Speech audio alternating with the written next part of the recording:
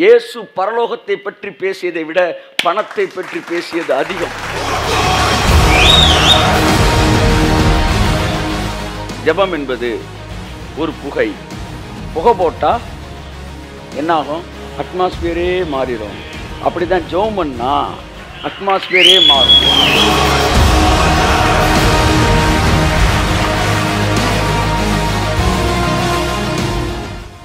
ஜபம் என்பது ஒரு புகை பாருங்கள் நான் கேட்குறேன் பக்கத்தில் இருந்து ஒருத்தன் தம்மு போடுறான் சார் டிவியில் அட்வர்டைஸ்மெண்ட் காட்டுறாங்க கவர்மெண்ட் அட்வர்டைஸ்மெண்ட் என்னன்னா அவன் அவன் தம் அடித்து ஊதும்போது பக்கத்தில் இருக்கிற யார்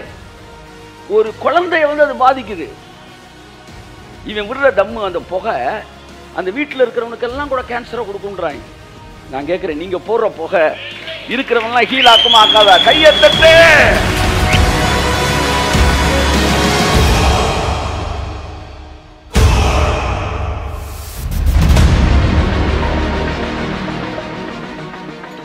தேவனுடைய வார்த்தைக்காய் செபிப்போம் ஆமேன் ஃப்ரைஸ் காட் ஹலலூயா நல்ல பிதாவே இந்த அருமையான இரவு வேலைக்காய் நன்றி சொல்லுகிறோம் என்னோட வார்த்தையை தியானிக்கக்கூடிய கிருபை எங்களுக்கு கொடுத்ததற்காக ஸ்தோத்திரம் இந்த வார்த்தை எங்களை மறுரூபப்படுத்தட்டும் இந்த வார்த்தை எங்களை என்னுடைய சாயலை எங்களுக்கு மீட்டுக் கொடுக்கட்டும்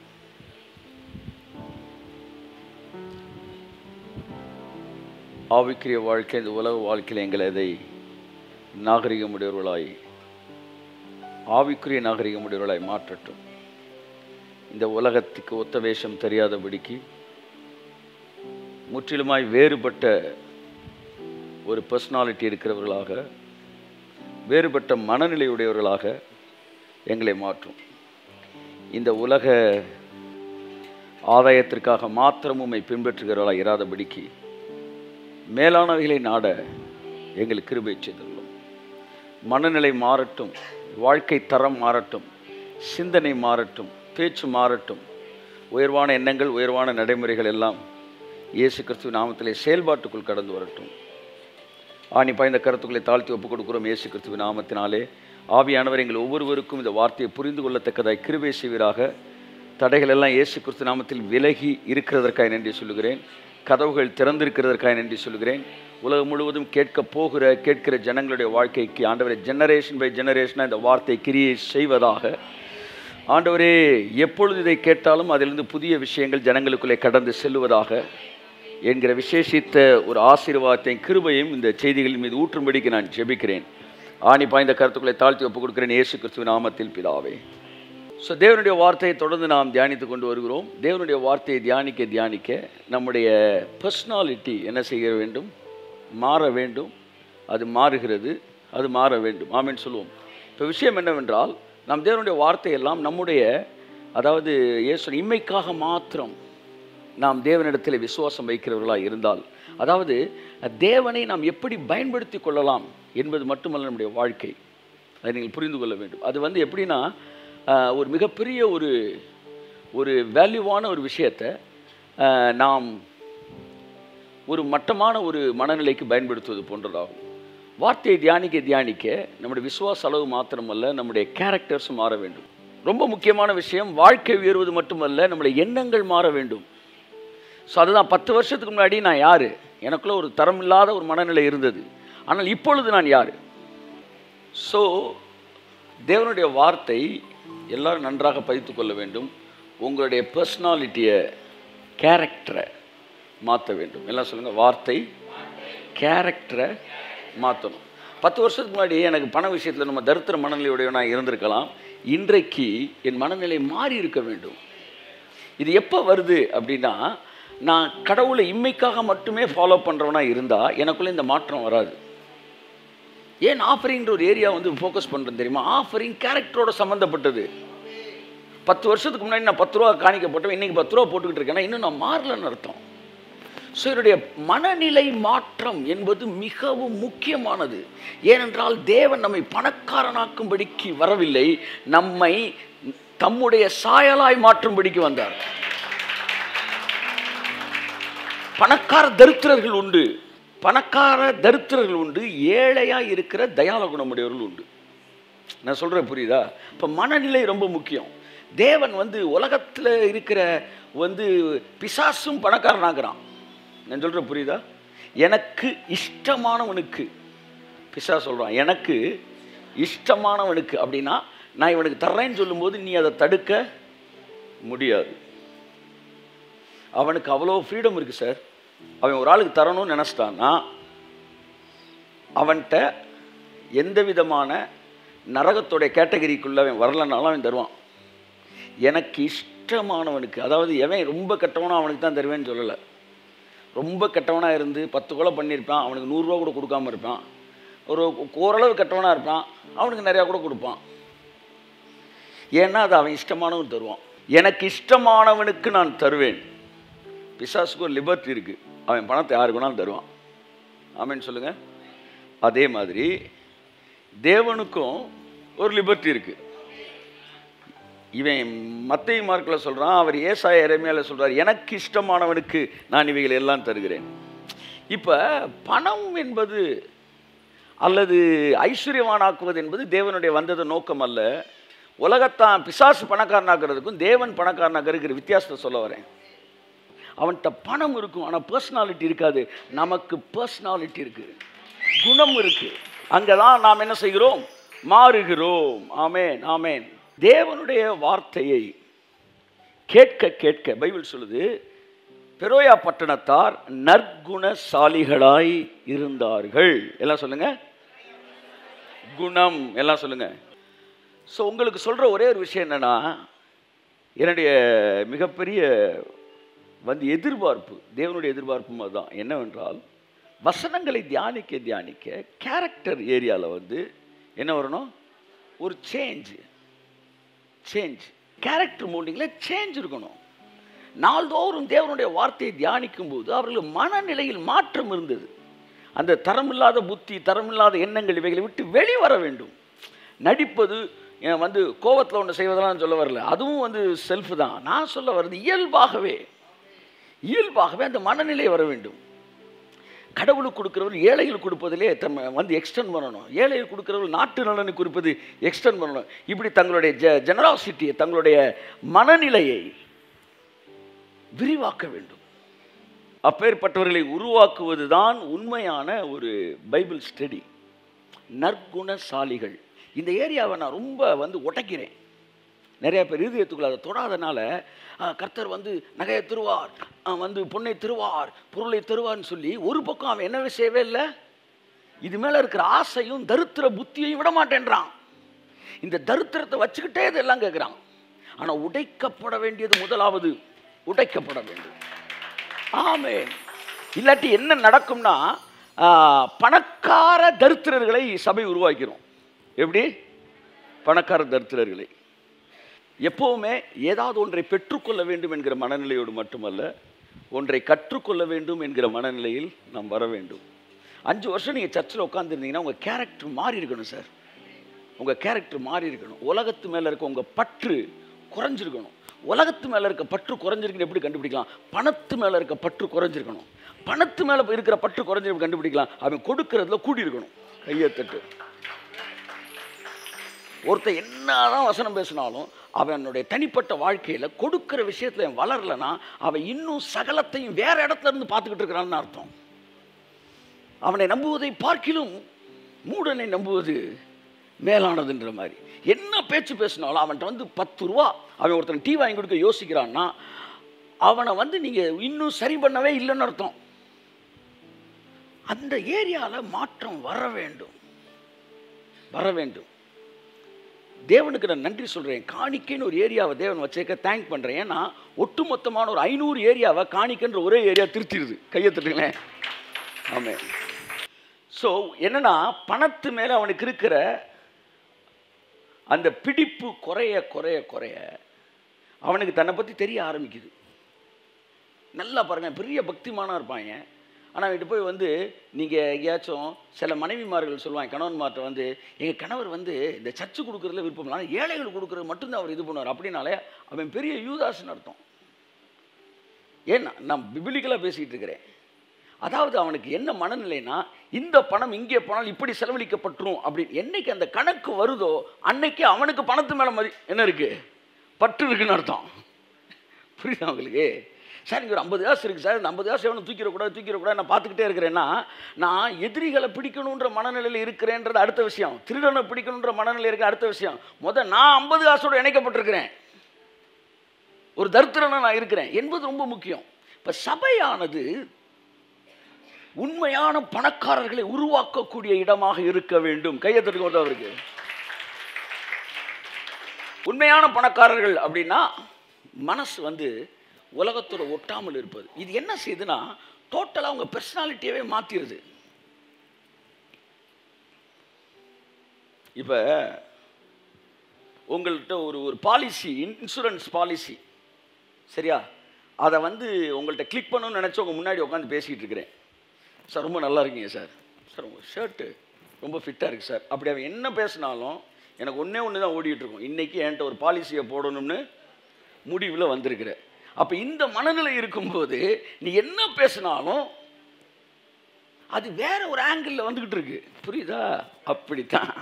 பண ஆசையை வச்சுட்டு நீ ஆபிக்குரிய விஷயத்தில் என்னத்தை செஞ்சாலும் இன்னும் நீ மாறல எல்லாருக்கும் தெரிந்து கொள்ள வேண்டிய ஒரு விஷயம் நான் பணத்தை எப்படி கையாளுகிறேன் என்பதுதான் என்னுடைய ஒட்டுமொத்த ஸ்பிரிச்சுவல் ஸ்டாண்டர்ட் கையை தட்டு வருது அவ்வளோதான் இயேசு பரலோகத்தை பற்றி புதிய ஏற்பாட்டில் பேசியதை விட சரியான புள்ளி விவரத்தோடு வந்திருக்கிறேன் ஃபினான்ஸ் மேனேஜ்மெண்ட் ஒரு மினிஸ்ட்ரி பண்ணுறாங்க இவங்க வேலையை பைபிளில் பணம்லாம் எங்கே வருது பணத்தை எப்படி கையாளணும் பணத்தை பற்றி ஏசு எத்தனை தூரம் பேசியிருக்கிறாரு பரலோகத்தை பற்றி எத்தனை தூரம் பேசுங்க கம்ப்ளீட் புள்ளி விவரம் எடுத்தவங்க அவங்க சொன்ன கணக்கு இப்போ சொல்கிறேன் ஏசு பரலோகத்தை பற்றி பேசியதை விட பணத்தை பற்றி பேசியது அதிகம் கையை தட்ட மாட்டேன் அம்புட்டு பெஞ்ச கோஷ்டியை பின்னணி சப்பு சப்பு சப்பு சப்புன்னு கொடுக்கணும் பணத்தை பற்றி பேசிட்டாருனாலும் மனசில் என்ன வருது பணம் வேணும் பணம் வேணும்னு பேசியிருக்காரு பார்த்தியா அதுதான் அதுதான் வளர்ப்பு பணத்தை எப்படி கையாளணும்னு பேசியிருப்பார் இல்லையா அந்த புத்தி வரலையே நமக்கு பணத்தை பற்றி பேசிட்டாருன்னா பணம் வாங்குற பற்றி பேசியிருக்காரா என்ன அபசகணும் கடவுளை பற்றி இப்படி பேசுகிறீங்க பணத்தை எப்படி சம்பாதிக்கணுன்ற பற்றி பற்றி பேசலை பணத்தை எப்படி வைக்க வேண்டிய இடத்துல வைக்கணும் பணத்துக்கு எப்படி ஊழியம் செய்யக்கூடாது என்று பணத்தை மேனேஜிங் அதாவது ஃபைனான்ஸ் மேனேஜ்மெண்ட் ஃபினான்ஸ் மேனேஜ்மெண்ட் இதை பற்றி பேசியிருக்கிறார் ஏன் அதை பற்றி அவ்வளவு பேசணும்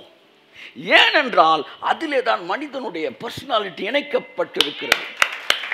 நல்லா கைத்தட்டுங்க கைத்தட்டு வர மாட்டேன் ஏன்னா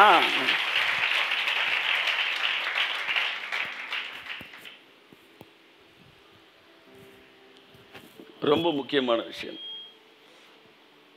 நீங்கள் பணத்தோடு இருக்கிற பிடிப்பு அதிகமாக இருக்கும் வரைக்கும் நீங்கள் நீங்கள் வந்து என்ன சொல்கிறது ஒரு டுவெண்ட்டி பர்சன்டேஜ் தான் ஸ்பிரிச்சுவல் லைஃப்பில் வந்திருக்கீங்க ஆனால் என்றைக்கு அது மேலே இருக்கிற பிடிப்பு உங்களுக்கு லூஸ் ஆகுதோ அன்றைக்கி தான் நீங்கள் கொஞ்சமாக ஜபிச்சால் நைன்டி பர்சன்டேஜுக்கு வரீங்க ஸோ பெரியாப்பட்டினத்தார் நற்குணசாலிகளாக இருந்தார்கள் அப்போ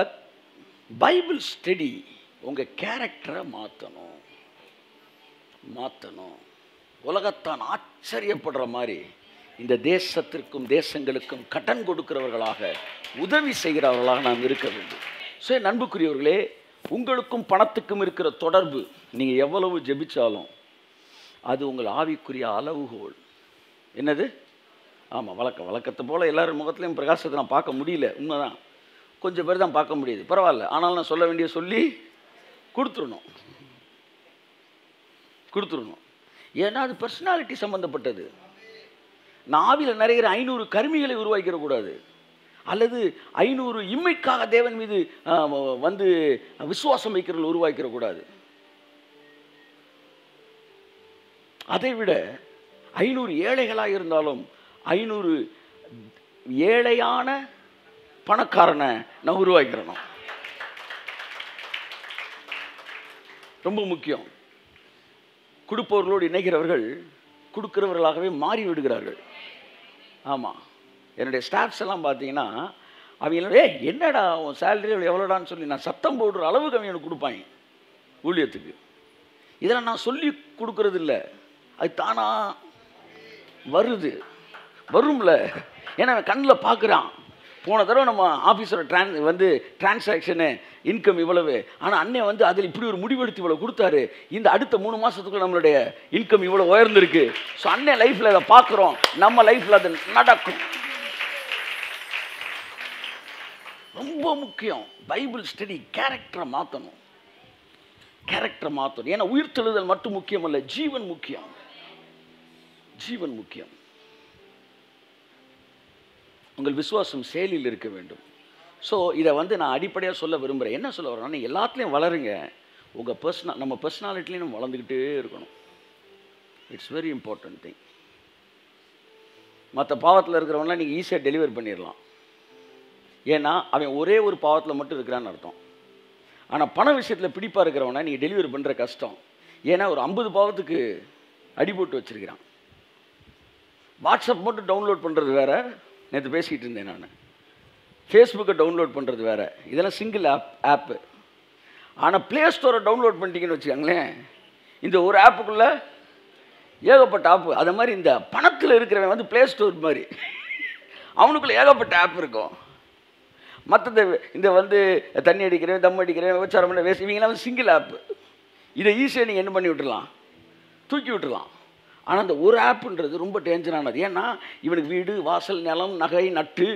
எல்லாத்தையும் கண் இருக்கிறனால தான் இந்த ஒரு ஆப்பை இறக்கி வச்சுருக்கிறான் இந்த ஒரு ஆப்பை கழட்டி விட்டிங்கன்னா ஏகப்பட்ட ஆப்பு டெலீட் ஆகிடும் ஸோ உங்கள் வாழ்க்கையில் நீங்கள் ஜெபிக்கணும் ஆண்டவரே என் வாழ்க்கையில் நீங்கள் விரும்புகிற ஒரு இடத்துக்கு என்னை கொண்டு வாங்கப்பா நீங்கள் நிறைய என்கிட்ட பேசுங்கப்பா நீங்கள் பேச பேச நான் டிரான்ஸ்ஃபார்ம் ஆகிறேன் நீங்கள் என்கிட்ட ஒன்று சொல்ல சொல்ல என் மனசு மாறுது என்கிட்ட கருத்தர் கேட்டார் நீ வந்து டேக்ஸே கட்டாமல் முழு பணத்தை நீயே வச்சுக்கிட்டு கையில் இருபது கோடி ரூபா வச்சுக்கிறியா இருபது கோடி ரூபா உனக்கு இன்கம்மு ஏன்னா டேக்ஸே கட்டாமல் பொய்யான கணக்கு காட்டி இருபது கோடி ரூபாய நீ வச்சுக்கிறியா எப்போ நான் டேக்ஸ் கட்ட ஆரம்பிக்கிறதுக்கு முன்னாடியே பேசிட்டேன்ட்ட இப்போ பேசலை உடனே நான் கட்டாமல் இருந்தேன் கர்த்தர் பேசிட்டேன் நீயா கதை எழுதிடக்கூடாது நான் வந்து ஐநூறுரூவா எனக்கு வருமானம் வரும்போது பேசுனதை சொல்கிறேன் இருபது கோடி ரூபா உனக்கு முழு காசும் நீ டேக்ஸ் கட்டாமல் கவர்மெண்ட் ஏமாற்றி வச்சுக்கிறியா இல்லை நாற்பது பர்சன்டேஜ் டேக்ஸ் கட்டிட்டு அறுபது பர்சன்டேஜில் வந்து மினிஸ்ட்ரிஸ் எல்லாம் பண்ணிவிட்டு மீதி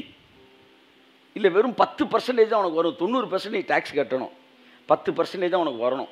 ஆனால் அந்த பத்து பர்சன்டேஜ் இரநூறு கோடியாக இருக்குது என்ன சொல்கிறாரு வச்சுக்கிறியான்னு கேட்டார் எனக்கு தொண்ணூறு நூறையும் வச்சுக்கிறதா ப தொண்ணூறு போகிறதா அது முக்கியம் இல்லை தொண்ணூறை கூட வச்சுக்கடா நூறு பர்சன்டேஜ் இருக்கிற இருபது கோடி அவரை அஞ்சு பர்சன்டேஜ் மட்டும் எடுத்தாலே இரநூறு கோடி வருதுன்னா நான் அஞ்சு பர்சன்டேஜ் எனக்கு போதும்ன்றேன் இந்த மனநிலைக்கு நீங்கள் வர வேண்டும் தசமபாகமே கொடுக்காம எனக்கு ஒரு லட்ச ரூபா வேணுமா இல்லை தசமபாகம் தாண்டி இருபது முப்பது கொடுத்து எனக்கு ஒரு கோடி ரூபா வேணுமானா நான் சொல்கிறேன் தொண்ணூறு கூட வச்சுக்க எனக்கு ஒரு கோடி ரூபா கொடுத்துருக்கேன்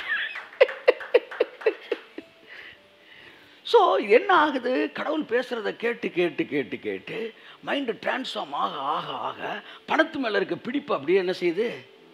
தளர ஆரம்பிக்குது அந்த இடத்துக்கு நீங்கள் வந்துட்டீங்கன்னா என்ன சொல்ல வரேன்னா இந்த பெரோயா பட்டணத்தார் நற்குணசாலிகளாய் இருந்தார்கள் கிருபையிலே தெசலோனிக்கே இருந்தார்கள் கிருபையிலே பெரோயா இருந்தார்கள் ஆனாலும் கிருபையில் இருந்த தெசலோனிக்கேரை விட கிருபையில் இருந்த பெரோயா பட்டணத்தார் நற்குணசாலிகளாக இருந்தார்கள் ஏனென்றால் கர்த்தருடைய வார்த்தையை தினந்தோறும் தியானித்தார்கள் தியானிங்க கடவுளோட வேர்டு உள்ளே வந்துருச்சுனாலே பணத்து மேலே இருக்க பிடிப்பு போயிடும் அதான் நான் சொன்னேன்ல அதாவது எல் பணம் எல்லாவற்றுக்கும் உதவும் பணம் எல்லாவற்றுக்கும் உதவும் எல்லாமே வாங்கலாம் ஆனால் எல்லாத்து மேலே இருக்க பற்று போயிடுச்சுன்னா இந்த பணம் எனக்கு எதுக்குமே உதவாது அப்போ பணத்தை நான் எப்போ துச்சமாக மதிக்க ஆரம்பிப்போம்னா எல்லாவற்றையும் மீது இருக்க பற்று எனக்கு குறையும் போது இந்த இடத்துல உட்காந்துட்டு ஐஸ்வர்யம் அப்படி பேசணும் எப்படி பேசணும் இங்கே உட்காந்து பேசணும் அதுதான் ஹெல்த்தியான டாக்கு அதுதான் பிரியாணியை சாப்பிட்டுட்டு பிரியாணின்னு சொல்கிறது நீங்கள் வெங்காயத்தை சாப்பிட்டு பிரியாணினீங்கன்னா பிரியாணி வாசனை வராது வெங்காய வாசனை தான் வரும் so spirit is very important thing spirit எல்லாம் சொல்லுங்கள் spirit spirit spirit not just word spirit எல்லாம் சொல்லுங்கள் ஸ்பிரிட் திரும்ப சொல்லுங்கள் ஸ்பிரிட் திரும்ப சொல்லுங்கள் திரும்ப சொல்லுங்கள் திரும்ப சொல்லுங்கள் திரும்ப சொல்லுங்கள் அந்த spirit is very important thing ஏன்னா ஸ்பிரிட்டு தான் வேலை பார்ப்போம் ஆமேன்னு சொல்லுங்கள் இப்போ ஒருத்தர் வந்து என்கிட்ட வந்து ரொம்ப நேரம் பேசிகிட்டு இருக்காரு ஆனால் என்கிட்ட பாலிசியை போடுறக்கான்னு பேசுகிறாருன்னா அந்த ஸ்பிரிட் வேறு spirit so let the word of God transform my personality day by day ஆமே ரொம்ப முக்கியம் சார் இப்போல்லாம் அத்தகைய அத்தகைய மனநிலை இல்லாதவர்களை பார்க்கும்போது அவர்கள் வேதத்தில் எவ்வளோ ஆர்வமுடையவர்களாக காண்பித்தாலும் சே ஆஃப் ட்ரால் மணி அதில் இன்னும் நீ டெலிவர் ஆகலன்னா அப்புறம் என்ன எண்ணத்தை தான் நீ என்ன வசனத்தை எழுதி எதுக்கு ஆஃப்டர் ஆல் மணி எல்லாம் சொல்லுங்கள் ஆஃப்டர் ஆல் சொல்லுங்கள் மணி ஆஃப்டர் ஆல் மணி இந்த மைண்ட் எப்போவுமே இருக்கணும் ஆமின்னு சொல்லுங்கள் எல்லாம் சொல்லுங்கள் after all money after all money hello லூயா so my beloved brother and sister so this is the basic motive of listening the word of God it has to deliver me from all the bondages under money and money conscious இன்றைய இளைஞர்களுக்காக நான் தேவனுக்கு ரொம்ப நன்றி சொல்கிறேன் ஏனென்றால் முந்தின ஜெனரேஷனோட இந்த ஜெனரேஷன் ரொம்ப டெலிவர் ஆகி வெளியே வராங்க ஆமாம் நான் சொன்ன அந்த ஃபினான்சியல் வந்து கேர்ஸு கீழே இருக்கிற ஃபேமிலியில் கீழே இருக்கிற சபை பிரிவில் இருந்து கூட இன்றைக்கி கொடுக்குறவர்கள் திரளாய்வில் எழும்பி வருகிறார்கள் எங்கேயோ ஒரு இடத்துல கொடுக்க கொடுக்குறான்ல அவன் அது போதும் கொடுக்குற இடத்துக்கு வந்துட்டானாலே அவன் சந்ததியை டெலிவர் ஆயிடுச்சான்னு அர்த்தம்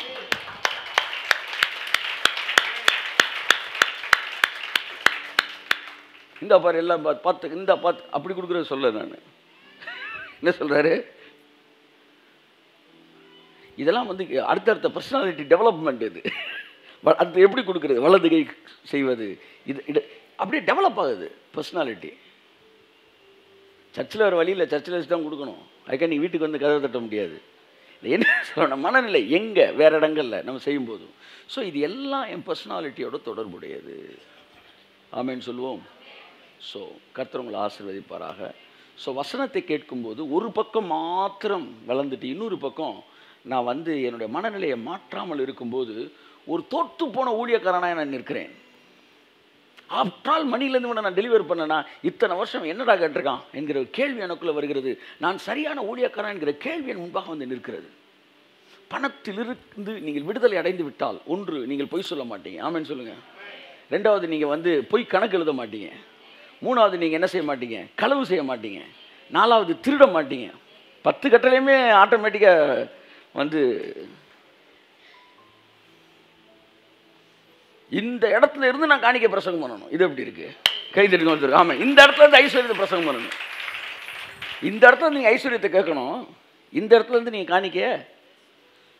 அப்படி இருந்துட்டீங்கன்னா லட்சக்கணக்கான பேர் நீங்கள் ஆஃப்ரிங்கை பற்றி பேசும்போது எழுத்து பேசுகிறோம் உங்களுக்கு உங்களுக்கு ஒன்றுமே தோணாது யாரு டே டே அப்படி உங்களுக்கு தோணும்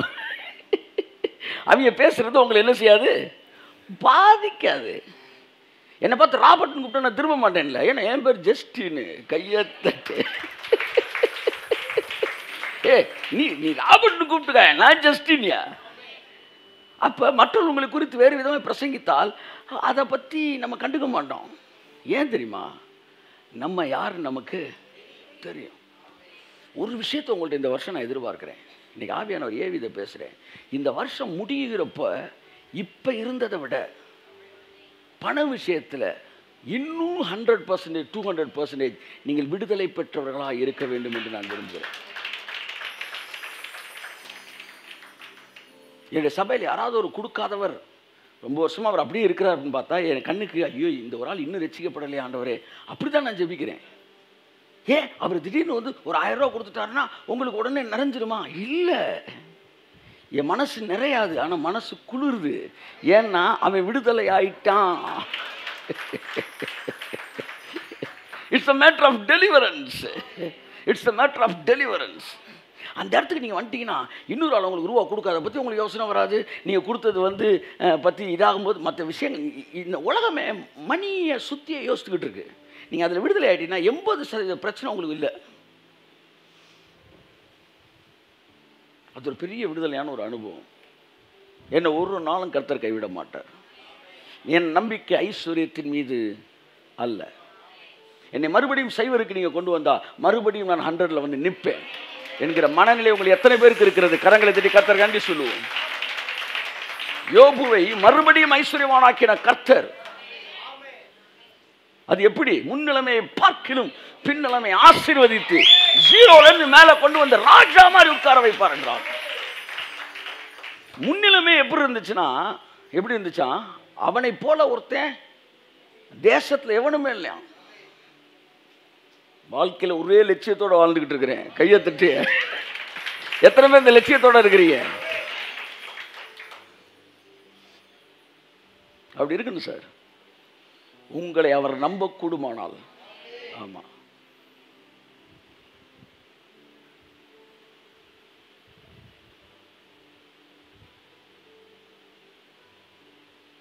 நீங்கள் எத்தனையோ கோடிகளுக்கு அதிபதியாக இருக்கலாம் நீங்கள் மட்டும் பணத்தை வைக்க வேண்டிய இடத்துல வச்சுருந்தா ஒரு தீர்க்க தரிசனத்தை சொல்கிறேன் நீங்கள் இருக்க வேண்டிய இடத்துல நீங்கள் இப்போ இருந்திருக்க வேண்டிய அவசியமே கிடையாது நீங்கள் எத்தனையோ கோடிகளுக்கு அதிபதியாக இருக்கலாம் பணத்தை வைக்க வேண்டிய இடத்துல துச்சமாக நீங்கள் வைப்பதற்கு இன்றைக்கு முடிவெடுத்தால் அடுத்த அஞ்சு வருஷத்தில் தேவனுக்கான ஃபினான்ஸ் மினிஸ்டராக நம்ம இந்த பூமியில் இருப்போம் ஒட்டுமொத்த இந்தியாவுக்கு இல்லாட்டினா கூட என்னை சுற்றி இருக்கிற ஒரு ஐம்பது குடும்பத்துக்கு என்னை சுற்றி இருக்கிற பத்து குடும்பத்துக்கு உன்னை ஃபினான்ஸ் மினிஸ்டர் ஜோசஃபா தேவன் வச்சுருப்பார் இப்போவும் அவர் விரும்புகிறார் ஆனால் வைக்க வேண்டிய இடத்தில் பணத்தை வைத்தால் நிச்சயமாக தேவன் நம்மை ஆசிரியப்பார் எதுக்காக நான் வேற ஒரு மேட்ரு எடுத்துகிட்டு வந்தேன் எதுக்காக அதை பேசிகிட்டு இருக்கேன்னு தெரில ஆனால் ஒன்று மட்டும் எனக்கு நல்லா தெரியுது நான் பேச வந்த சப்ஜெக்டில் இருக்கிற டெலிவரன்ஸை விட இப்போ பேசுகிறனால நிறைய பேர் டெலிவர் ஆக போகிறாங்க ஆகிட்டு இருக்கிறாங்க ஏன்னா உங்களுடைய எல்லா செய்தியை கேட்குறது இந்த அளவுகளில் நீங்கள் கேட்கணும் ரெண்டு எஜமானனுக்கு ஒருத்தர் ஊழியம் செய்ய முடியாதுன்னாரு ரெண்டு கடவுளுக்கு ஊழியம் செய்ய முடியாதுன்னு சொல்லி கடவுளுக்கு ஈக்குவலாக பணத்தை பேசுகிறார் தேவனுக்கும் ஐஸ்வர்யத்துக்குன்றார் அப்படின்னா கடவுளுக்கு என்ன பவரோ அந்த பவருக்கு ஈக்குவலாக மனிதன் அதை வச்சிருக்கிறான் அதுதான் சிக்கல்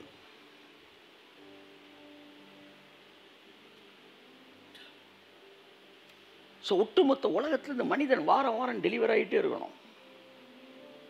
அந்த டெலிவரன்ஸுக்குன்னு ஒரு அளவுகள் வைக்கிறாரு தட் வா that is offering that is giving showing in the land of God அது மட்டும் இது நான் எந்த டெப்த்தில் இருந்து பேசுகிறேனோ அந்த டெப்த்தில் நீங்கள் ரிசீவ் பண்ணுறீங்களான்னு எனக்கு தெரியல அதை உங்களுக்குள்ளே புரிய வைக்கிறதுக்கு தான் நான் திரும்ப திரும்ப அங்கே வரேன்னு நினைக்கிறேன் அதாவது அந்த ஏரியாவில் லாக் ஆகிருக்கிறவன் எவ்வளவு செய்தி கேட்டாலும் அவன் இன்னும் என்ன செய்யலை ஒரு ஆவிக்குரிய மனிதனாய் மாறவில்லை நான் சொல்கிறது புரியுதா அந்த ஆழத்தின் அந்த ஆழத்துலேருந்து உங்களால் அதை புரிஞ்சுக்க முடியுதா அல்லது அதனுடைய சீரியஸ்னஸ் உங்களுக்கு தெரியுதா இல்லை ஒரு நூறுரூவாய் கேட்டு ஒரு பேசிகிட்டு இருக்காரு நீங்கள் நினைக்கிறீங்களா அப்படின்னா நீங்கள் அந்த ஆள் தான் அதே ஆள் தான் அன்றைக்கி தேடிட்டு இருந்தேன் பார்த்தீங்களா அவரே தான் அந்த டைரக்டர் சொல்லுவார்லாம் இப்படி தான் தெரியும் அந்த ஆள் நீங்கள் இப்போ நான் பேசுகிறதே வேறு மாதிரி உங்களுக்கு தெரிஞ்சுன்னு நீங்கள் தான் அந்த ஆள் இல்லை இவர் வேறு ஏதாவது சொல்ல வராரு நான் அதை புரிஞ்சுக்கணும் அப்படின்னீங்கன்னா நீங்கள் அவர் இல்லை நீங்கள் அந்த இடம் கிடையாது வேற அது என்ன தெரியுமா ஒரு மனுஷனுடைய டோட்டல் ஸ்பிரிச்சுவாலிட்டி அவன் ஆவிக்குரிய ஸ்டாண்டர்டே பணத்தை அவன் எப்படி கையாளுகிறான் என்பதிலிருந்து தான் இருக்கிறது இது ஆழமான அர்த்தமுடையது அதனால் தான் சிலர் என்ன செய்கிறாங்கன்னா இரவு முழுவதும் துடுப்பு போடுகிறார்கள் காலையில் பார்த்தா படகு கிளம்புன இடத்துல இருக்கு என்னடான்னா படகை கட்டி இந்த கயிறு அவுக்கலை இந்த மேட்டர் தான் பேசிகிட்டு இருக்கிறேன் அவுத்து பாரு ஒரு துடுப்பு போட்டாலும் வண்டி ஜல்லுன்னு போகும் எங்கேயாச்சும் கம்ஃபர்ட்டாக நீங்கள் நின்று பழகிட்டிங்கன்னா அடுத்த ஸ்டெப் எடுத்து வச்சு பாருங்கள் எங்கேயோ வலிக்குதுன்னா நீங்கள் அங்கே டெலிவர் ஆகிறீங்கன்னு அர்த்தம் ஜனவரி மாதம் சொன்னேன் இந்த மாதத்துலேருந்து இருபத்தஞ்சிலேருந்து நான் முப்பது கொடுக்கலான்னு பிளான் பண்ணியிருக்கேன்னு தாங்க சொன்னேன் இன்னும் நான் வந்து அஃபீஷியலாக அதை அனௌன்ஸே பண்ணலை அன்னைக்கு ஆஃபரிங்கே எடுத்துட்டேன் முப்பது சதவீதம் என்ன ஆண்டுறேன் அண்ணே சொல்லிட்டீங்களே நான் இதிலலாம் அட்வான்ஸாக இருக்குடா ஆனால் கத்தர் சொன்னார் சொன்னிலப்பா ஆமாம் வலிக்குதா வலிக்குதான்னாரு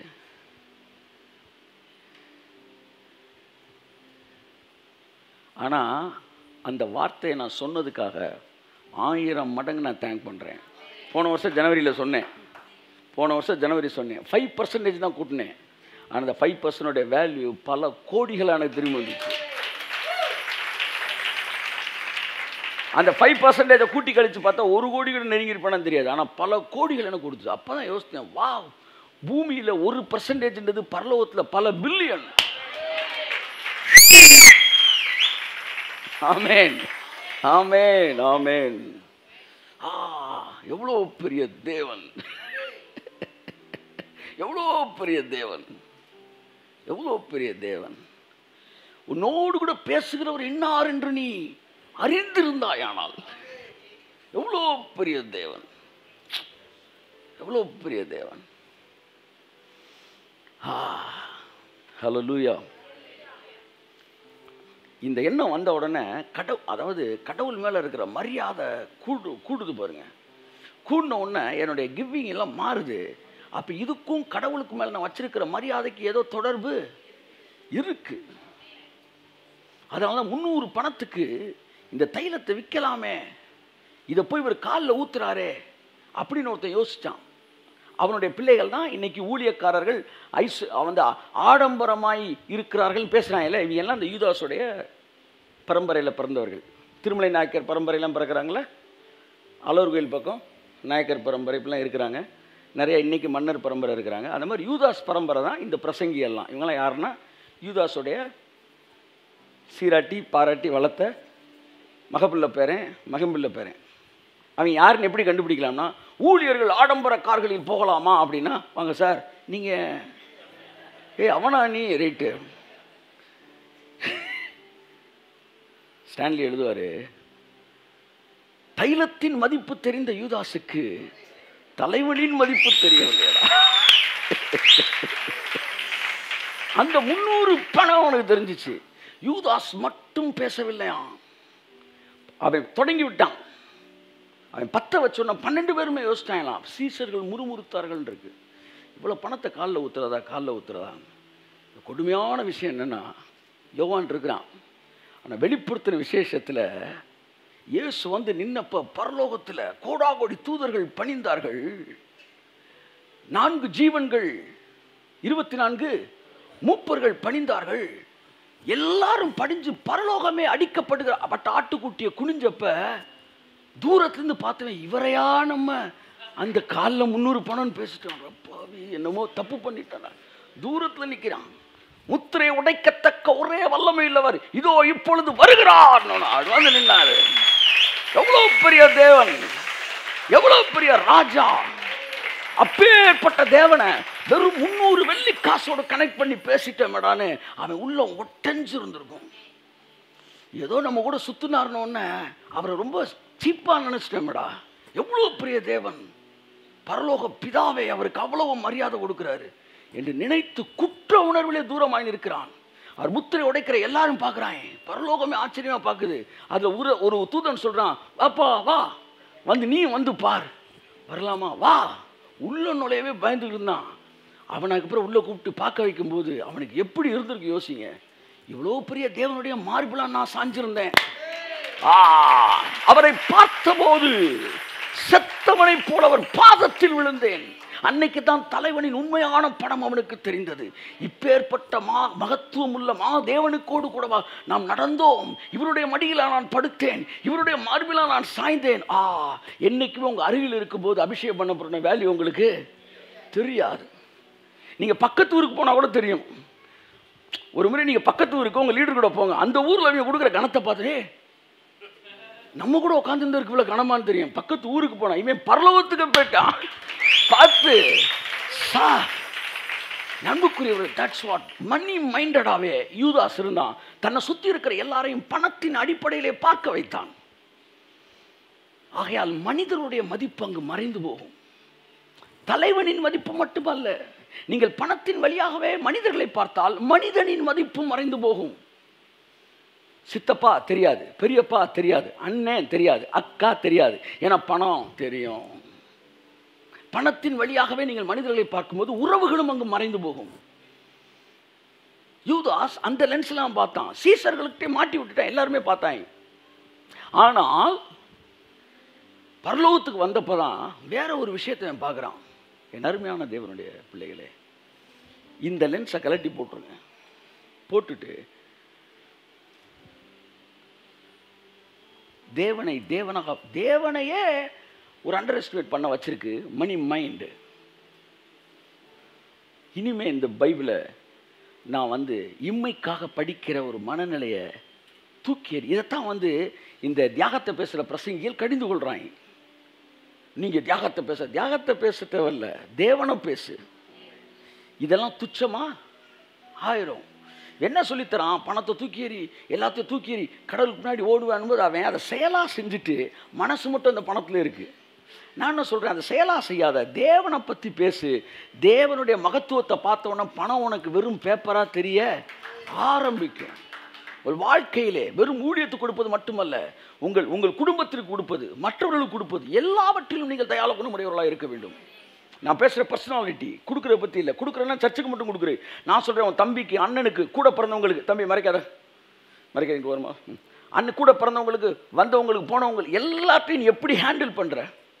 மணின்னு ஒரு விஷயத்த எப்படி நீங்கள் டீல் பண்ணுறீங்க உங்கள் சரௌண்டிங்ஸ் ஃபுல்லாக அதுதான் அவங்க பர்சனாலிட்டி அந்த ஏரியா சொல்லி கொடுக்காம மூணாம் மானம் நாலாம் மானம் அப்படின்னு பேசினாலும் அங்கே போய் எதாச்சும் செம்பம் தூக்கிட்டு வந்துடுமா என்கிற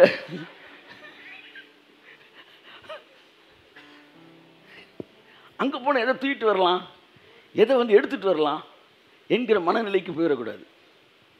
சார் உறவுகளுக்கு மரியாதை கொடுங்க சார் உறவுகளுக்கு மரியாதை கொடுங்க உங்கள்கிட்ட யாராச்சும் ஒரு ஆள் பேசும்போது எப்போவுமே எதையாச்சும் உங்கள் சுற்றி இருக்கிற பொருளையே பார்த்துட்டு பேசிக்கிட்டு இருந்தால் நல்லா இருக்குமா அது அதுக்கு என்ன நீங்கள் லேபிள் ஓட்டினாலும் முதலாவது நீங்கள் விடுவிக்கப்பட வேண்டும் அந்த விஷயத்தில் நீங்கள் டெலிவர் ஆகணும் that's very important thing so Bible study அப்படின்னா அதனோட பேசிக் மோட்டோ அண்ட் மோட்டிவ் என்னென்னா நற்குணசாலிகளாய் மாறுவது இதெல்லாம் ரொம்ப சாதாரணமாக நீங்கள் எடுத்துக்கவே முடியாது ஏன்னா குணங்கள் மாறாமல் எழுபது வயது எண்பது வயதை தாண்டினவர்களை நான் பார்த்துருக்கிறேன் அவர்களால் மாற முடியவில்லை அவர்களால் மாற முடியாதுன்னு நான் சொல்ல மாட்டேன் ஆனால் நான் பார்த்து இல்லை சில ஏரியாலெலாம் மாற முடியல நான் சொல்கிறேன் இளம் வயதிலே உங்களை உங்களுடைய ஜென்ம சுபாவங்களிலிருந்து டெலிவர் ஆகிக்காங்க ஆனால் கர்த்தர் எவ்வளவோ நம்மளை டெலிவர் ஆக்கியிருக்கிறார் அதற்காக நான் நன்றி சொல்லணும்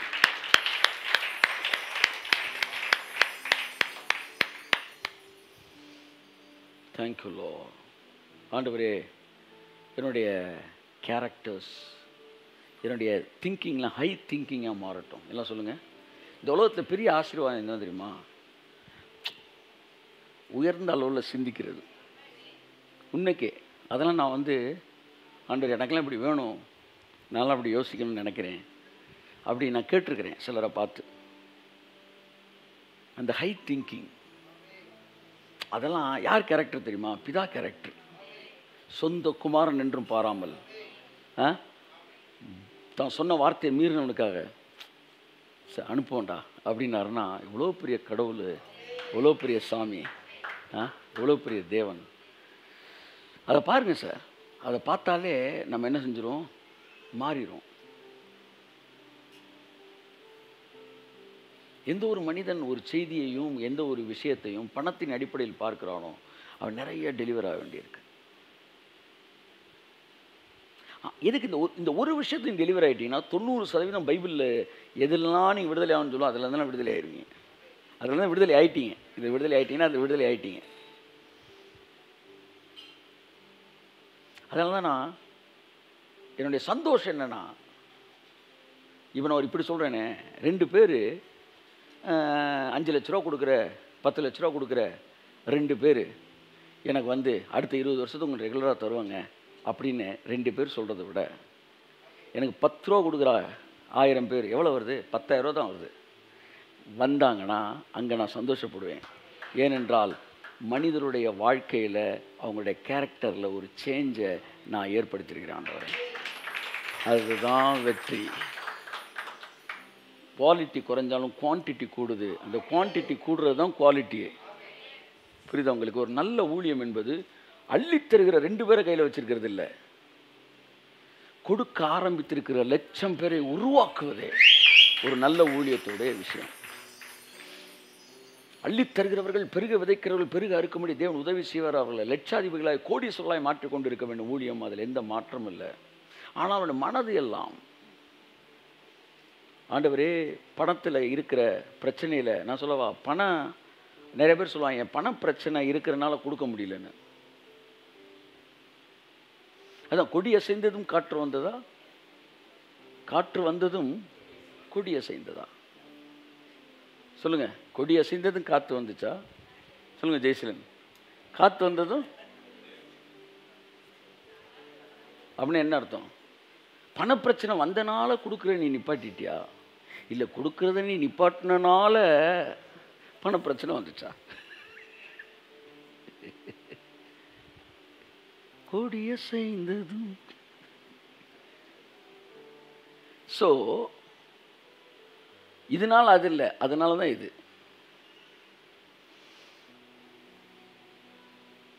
நீங்கள் கொடுக்குறவர்களாக இருப்பீர்கள் அதாவது என் தேவை இது அப்படின்னு ஒரு முடிவு வந்துட்டேன் என் தேவை நிறைவேறிடுச்சுன்னா அதுக்கப்புறம் எவ்வளோ வந்தாலும் அது எதுக்கு தான் உலகத்துக்கு தான் ஊழியத்துக்கு தான் அப்படின்ற முடிவுக்கு நீங்கள் வந்துட்டிங்கன்னா ஒரு டேங்க்கில் ஐம்பது குடம் தண்ணி தான் பிடிக்கும் அப்படின்னா அதுக்கு மேலே நிலத்துக்கு வேணும்னா எவ்வளோ நாள் ஊற்றலாம் நம்பி டேங்க்கில் ஏன்னா அது ஐம்பது தான் எடுத்துக்கிறோம் மீதியை ஃபுல்லாக தட்டிடும் அந்த இடத்துக்கு நீங்கள் வரீங்கன்னா உங்களை நம்பி தேவன் ஊற்ற முடியும் ஆமேன் எவ்வளவு இருக்குல்ல எவ்வளவு எனக்கு தேவை புரியுதா உங்களுக்கு எவ்வளவு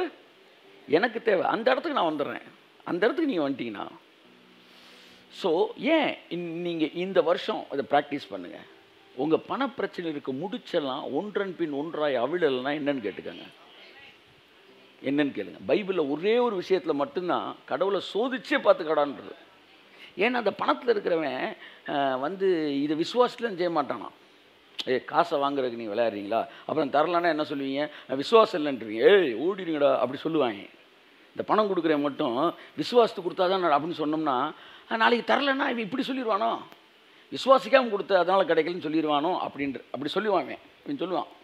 அதனால் நீ விசுவாசிக்காமலே கொடுத்தாலும் நடக்கும்டா அப்படின்னு இந்த ஒரு இடத்துல சொல்கிறாரு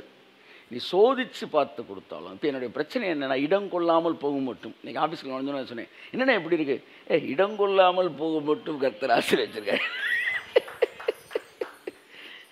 இல்லை சார் அப்படி இல்லை சார் நீங்கள் சின்ன வீட்டில் இருக்கீங்க நாளைக்கு நான் பெரிய வீடு கட்டுறேன் வாங்க அதுலேயும் அது இடம் கொள்ளாமல் போகிறதுக்காது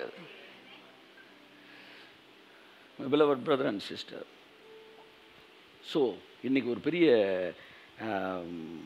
ஒரு விஷயத்தை உங்கள்கிட்ட பேசியிருக்கேன் நினைக்கிறேன் நிறைய பேர் ஒரு சபையில் பிரசங்கம் பண்ணும்போது நாலாயிரம் பேரில் ஒரு ஒரு மூவாயிரம் பேர் இந்த இந்த லாக்கில் இருந்துக்கிட்டே தான் அந்த செய்தியை கேட்குறான் ஆசீர்வதிக்கப்படுறான் கொஞ்சம் லெவலில் பெரிய அதெல்லாம் வேறு விஷயம் ஆனால் டெலிவர் ஆகலை அவன் ஆனால் ஒரு ஒரு ஆயிரம் பேர் வேறு இடத்துல உட்காந்து கேட்குறாங்க அவன் தான் டெலிவர் ஆனவன் கர்த்தருடைய ஆவியான இந்த இரவு வேலையில் இந்த வார்த்தையை கேட்குற எல்லாருக்கும் ஒரு டெலிவரன்ஸை தருவாராக டெலிவரன்ஸை தருவாராக ஆமாம் டெலிவரன்ஸை தருவாராக நான் கிருபைக்குள்ளே வந்தப்போ முதல் முதலே கர்த்தர் என்கிட்ட சொன்ன ஒரு விஷயம் ஏகப்பட்ட பிரமாணங்களை பிடிச்சி தொங்கிட்டு இருந்தேன் அப்போ கர்த்தர் சொன்னார் இது எல்லாத்தையும் விட்டுருவியான்னாரு நான் சொன்னேன் இருபத்தி மூணு வருஷம் பிரசங்கம் பண்ணது எப்படி சார் விட சொல்கிறீங்க சாரி சார் நீங்கள் பேசுகிற நீங்கள் தானான்னு எனக்கு தெரியல எனக்கு இருபத்தி மூணு வருஷம் தான் நான் பிரசங்கம் பண்ணியிருக்கேன் இதை விட்டுட்டு இந்த பிரமாணங்கள் இந்த ஓல்ட் இந்த கவனன்ட்டெல்லாம் விடணுன்றீங்க இது ஏதோ ஜபத்தில் தான் ஏதோ இந்த அளவு பரிசுத்தமாக வாழ்ந்துக்கிட்டு இருக்கிறோம் அளவு ஊழியம் பண்ணிகிட்டு இருக்கோம் இதெல்லாம் விட்டுட்டா என் வாழ்க்கை ரொம்ப மோசமாயிடும் விடுறியா என்னை நம்பி அப்படின்னு கேட்டார் அப்போ ஒரு பெரிய ஒரு ஆயிரம் அடி உயரத்தில் மலையிலேருந்து தவறி விழுந்தவன் ஒரு ஒரு ஒரு செடியை பிடிச்சி தொங்கிட்டு இருக்கும்போது ஆண்டவரே காப்பாற்றணும் போது அவர் காப்பாற்றுறேன் கையை விடுறியா அப்படின்னு கேட்ட அப்படி இருக்கும் நீ என்னங்க செய்வீங்க உன்னை காப்பாற்றுறேன்பா கையை விடுறியான்னு கேட்குறாரு நீ உன்னை என்ன சொல்லுவீங்க கத்தர் பேசுனா விட்டுருவேன்னு கத்தர் பேச என்னமா சொல்லுவீங்க நீங்கள் தான் பேசுகிறீங்களான்னுவீங்க நான் விட மாட்டேன்னு சொல்ல மாட்டீங்க இல்லை இல்லை நீ வேறு யாரோ பேசிக்கிட்டு இருக்கீரு நீ நேரில் தோணுலாம் பேசுகிறே அப்படின்னு அடுத்து நேரில் தோணுனா வந்து இது ஒளியும் தூதுனா ஏ என்னைக்கு தாண்டா நீ திருந்த போகிறடி இந்த ஒருத்தர் பேசிக்கிட்டு இருந்தார் நான் ரொம்ப வருத்தமான விஷயம் ஒரு நல்ல பைபிள்லாம் படிக்கிறவர் போலி அற்புதங்களை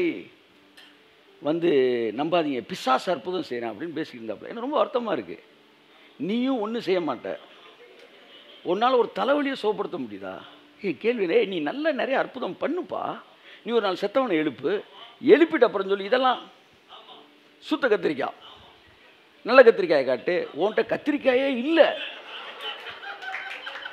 அவன் நாலு கத்திரிக்காய் வச்சு விற்றுக்கிட்டு இருக்கிறான் நீ வந்து உள்ள ஏன் இப்படி தொடங்கிட்டாருன்னு தெரில அவருக்கு அவரை வியூவர்ஸ் கூட்டின உடனே என்ன செஞ்சிட்டாருன்னா ஆஹா நம்மளும் எவ்வளோ பிரசங்கம் பண்ணி பார்த்தோம் ஒருத்தனும் பார்க்கல நம்ம வந்து தூக்கி பேசினா எவனு கேட்க மாட்டேன்றாங்க தாக்கி பேசினா தான் கேட்குறாங்க அப்போ இனிமேல் நமக்கு வியூவர்ஸு ஒவ்வொரு செய்தியிலையும் எவனாச்சும் நல்ல ஃபேமஸான ஆளை தாக்கிடும் முன்னாடி அவங்க படத்தை போட்டுட்டு பேசுவோன்னு இறங்கிட்டார் வியூவர்ஸோடைய மென்டாலிட்டியில் தரம் இறந்து இறங்கிட்டார் இறங்கிட்டு அடுத்தடுத்து அடுத்தது வரிசையை ஃபுல்லாக பார்த்தா எவனாச்சும் ஃபேமஸ் ஆனவனே தாக்குறது இதை செய்யாத இருக்கிறவனும் மென்டல் ஆக்குறது அற்புதம் நடக்குது இவங்க வந்து பிசாஸ் அற்புதம் செய்கிறான்னா நீ யார் இப்போ ஓ ஓ ஜீனை நான் பார்ப்பேன் யாருன்னா ஏசு வாழ்ந்த காலத்தில் இவன் பெயர் சொபில் நாள் ஏய் அவன் குடும்பமா நீ நான் க்ளீனாக பரம்பரையை தான் தூக்குவேன் நீ பணத்தை பேசுனா நீ யார் யூதாஸ் பரம்பரை க்ளீனாக தூக்கிறோம் இதெல்லாம் பிசாஸ் செய்கிறதுனா நீ யார் இந்த பரிசெயர்கள் son of grand Sun of பரிசெயர்கள் அந்த ரூட்டில் வந்து வர்ற ஆளுங்க தான் குறை சொல்லிக்கிட்டு நான் என்ன சொல்கிறேன் ஹேகின் சொல்லுவார் பேதுருவை கூட பேதுருவை கூட தண்ணியில் மூழ்கின போது வந்து அவன் அவிசுவாசமாக பேசிட்டான் இந்த கட்டையை கொடுக்குறது லந்த கொடுக்குறது இதெல்லாம் வந்து அவருக்கு பிடிக்காதான் ஒரு தடவை கத்தர் சொன்னானா என் டிசைபிள்ஸ் எவனும் கேலி பண்ணாதீங்க அவர்கள் எனக்காய் ஊழியம் செய்தவர்கள் அதெல்லாம் அடுத்த விஷயம் அவன் கூட உட்காந்து சாப்பிட்டேன் மடியில் தூங்கினவன்டா எப்படி அவனை பேச போச்சுன்னாரான் கூட்டு வேலைக்காரன் அவன் பைபிளில் ரெண்டாயிரம் வருஷத்துக்கு முன்னாடி இருந்த தன் கூட இருந்த ஊழியக்காரனே பேசக்கூடாதுன்னும் போது இன்றைக்கி ஊழியர் செஞ்சுட்டு இருக்கணும் எப்படி நம்ம பேச போச்சு அதனால் இங்கே இருங்க அவன் இப்பெல்லாம் மிரட்டு வாங்கிட்டு நீங்கள் கூட்டங்களுக்கெல்லாம் போகாமல் இருந்துடாதீங்க என்ன இவனும் தலை தானும் போகிற நாய் உட்காந்த கதை மாடு திங்க வந்தால் மாடையும் திங்க விடாது நாயும் திங்காது இப்படி தான் அற்புதத்துக்கு போகிறவன் வந்து அவர் இதை அது வந்து பிசாசு இது அற்புதம் அப்போ இங்கே இங்கே போகாத இதை வந்து டான்ஸரை வந்து பா எல்லாம் பாவனை என்ன செய்ய சொல்கிற எனக்கு என்னென்னா பிசாஸ் இவங்க சொல்கிறத வச்சு பார்த்தா பிசாஸ் ரொம்ப ஆக்டிவாக இருக்க மாதிரியும் ஏசுனர் எங்கேயோ தூங்கிட்டு இருக்க மாதிரியும் அப்போ ஏசு என்னடா பண்ணுறாரு ஏசு ஒன்றுமே பண்ணலையா இவன் சுற்றி சுற்றி வேலை பார்க்கணும் சார் அவர் நின்ன இடத்துல இருந்து எல்லா இடத்துலையுமே இருப்பார் எல்லா இடத்துலையுமே இருக்கிறார் இவன் இங்கே வேலை பார்த்துட்டு அங்கே போயிட்டு அங்கே போயிட்டு வரணும் ஏன்னா இவன் ஆம்னி பிரசன்ட் கிடையாது ஆனால் அவர் ஆம்னி பிரசன்ட்டு ஆமாம் ஆமாம் சொல்லவா இப்போ பிசாஸ் இங்கே தட்டி விட்டா இங்கே மொதல் ஆள்கிட்ட டெம்டேஷனை தொடங்கி டெஸ்ட் பண்ணி அங்கே வரதுக்கு ஒரு வாரம் ஆகி போயிடும் புரியுதா உங்களுக்கு அதனால தான் எப்போவுமே உங்களுக்கு சோதனை இருக்கிறதுல வந்துட்டு போயிடுது ஏன்னா அவன் வர்றதுக்கு லேட் ஆகுது முடிச்சுட்டு வேகமாக வரணும் ஆனால் இவர் எப்படி தெரியுமா அப்படின்னும் போது முதல் ஆள்லேருந்து கடைசி ஆள் வரைக்கும் அப்படியே கூட வந்து பேசிட்டு இருக்காரு இப்போ ஒரே நேரத்தில் ஒவ்வொருத்தண்டையும் பேசிகிட்டு இருக்கிறார் ஒரே நேரத்தில் இப்போ நானூறு பேர்கிட்ட பேசிகிட்டு இருக்கிறாரு ஆயிரம் பேருக்கு பேசிகிட்டு இருக்காரு ஸோ இப்பேற்பட்ட தேவன் ஒரு வேலையும் பார்க்காம இல்லையா தேவன் எல்லாம் செஞ்சுக்கிட்டு தான் சார் இருக்கிறார் இவர்கள் வந்து அதாவது ஒரு வார்த்தை சொல்லுவாங்க அரண்ட கண்ணுக்கு இருண்டதெல்லாம் பெய் அந்த குரூப் நீ வந்து ஒரு மிரண்டு போய் இருக்கிறனால வந்து எல்லா நல்ல கூட்டங்களையும் குறை சொல்லி கொண்டே இருப்பார்கள் this is accusing spirit please don't listen such a videos sir இன்றைக்கி நான் சொல்ல வந்த பெரிய விஷயம் என்னவென்றால் கேரக்டரில் பர்சனாலிட்டியில் சேஞ்சஸை தராவிட்டால் அந்த செய்தி எவ்வளவு பெரிய உயரம் உன்னதமான சிங்காசனத்தை பற்றுகிற செய்தியாக இருந்தாலும் அது ஒரு தோற்றுப்போன ஒரு ஊழியமாகவே இருக்கிறது ஒரு ஊழியம் ஜனங்களை பணத்தின் மீது இருக்கிற பற்றிலும் அதில் இருக்கிற பிடிப்பிலிருந்து விடுதலை பண்ணாவிட்டால் அந்த ஊழியம் உண்மையில் ஒரு தோற்றுப்போன ஊழியம் பணக்காரர்களை உருவாக்குற அதே வேளையிலே பணத்தின் மீது இருக்கிற அடிமைத்தனத்திலிருந்து விடுதலையாக்கி கொண்டே இருக்க வேண்டும் தட்ஸ் வெரி இம்பார்ட்டன்ட் திங் எனக்கு ரொம்ப நாளாக அப்படியே வந்து அயன் பண்ண மாதிரி வந்து நின்று பாயிண்ட் எழுதிக்க ஒன்று பாயிண்ட் எழுதிக்க ரெண்டு இப்படி பிரசங்கம் பண்ண எனக்கு ஆசை ஒரு நாளாச்சும் அதை ப்ராக்டிஸ் பண்ணி பார்க்கணும் அதாவது ரொம்ப எக்ஸைட் ஆகாமல் ரொம்ப வந்து என்ன சொல்லாது ஆமாம் இது பண்ணாமல் நின்ன இடத்துல இருந்து எழுதிக்க ஒன்று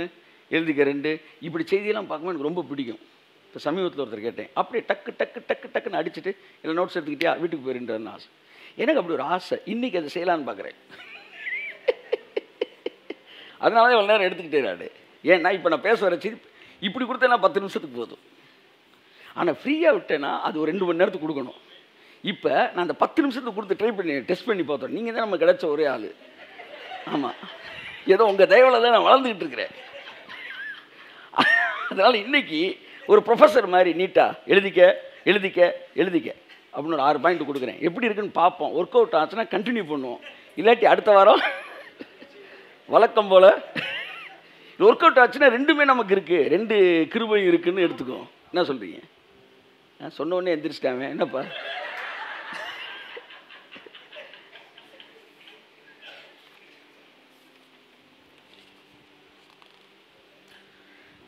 என் அன்பு அன்புக்குரியவர்களே நான் இன்றைக்கி ப்ரே இன் டங்ஸு அதை பற்றி நான் பேசணுன்ட்டு இருந்தேன் ஆனால் வருகிற வழியில் எனக்கு வேறு ஒரு வசனம் திடீர்னு மனதில் பட்டுச்சு ரெண்டு வசனம் அதுக்கு பக்கத்தில் பக்கத்தில் இருக்குது அதனால் இது ரெண்டும் கனெக்ட் ஆனதுன்னு ஆவியானவர் சொன்னார் அதை கன்ஃபார்ம் பண்ணிக்கிறேன் அதான் ஆமாம் பக்கத்தில் பக்கத்தில் இருக்குது இப்போ நம்ம வாசிப்போம் எபேசியர் ஆறு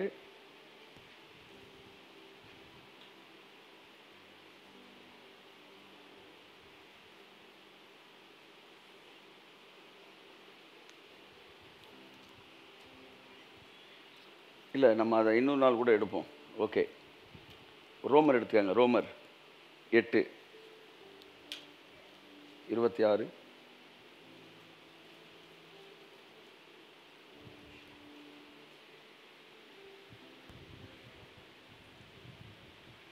அந்தபடியே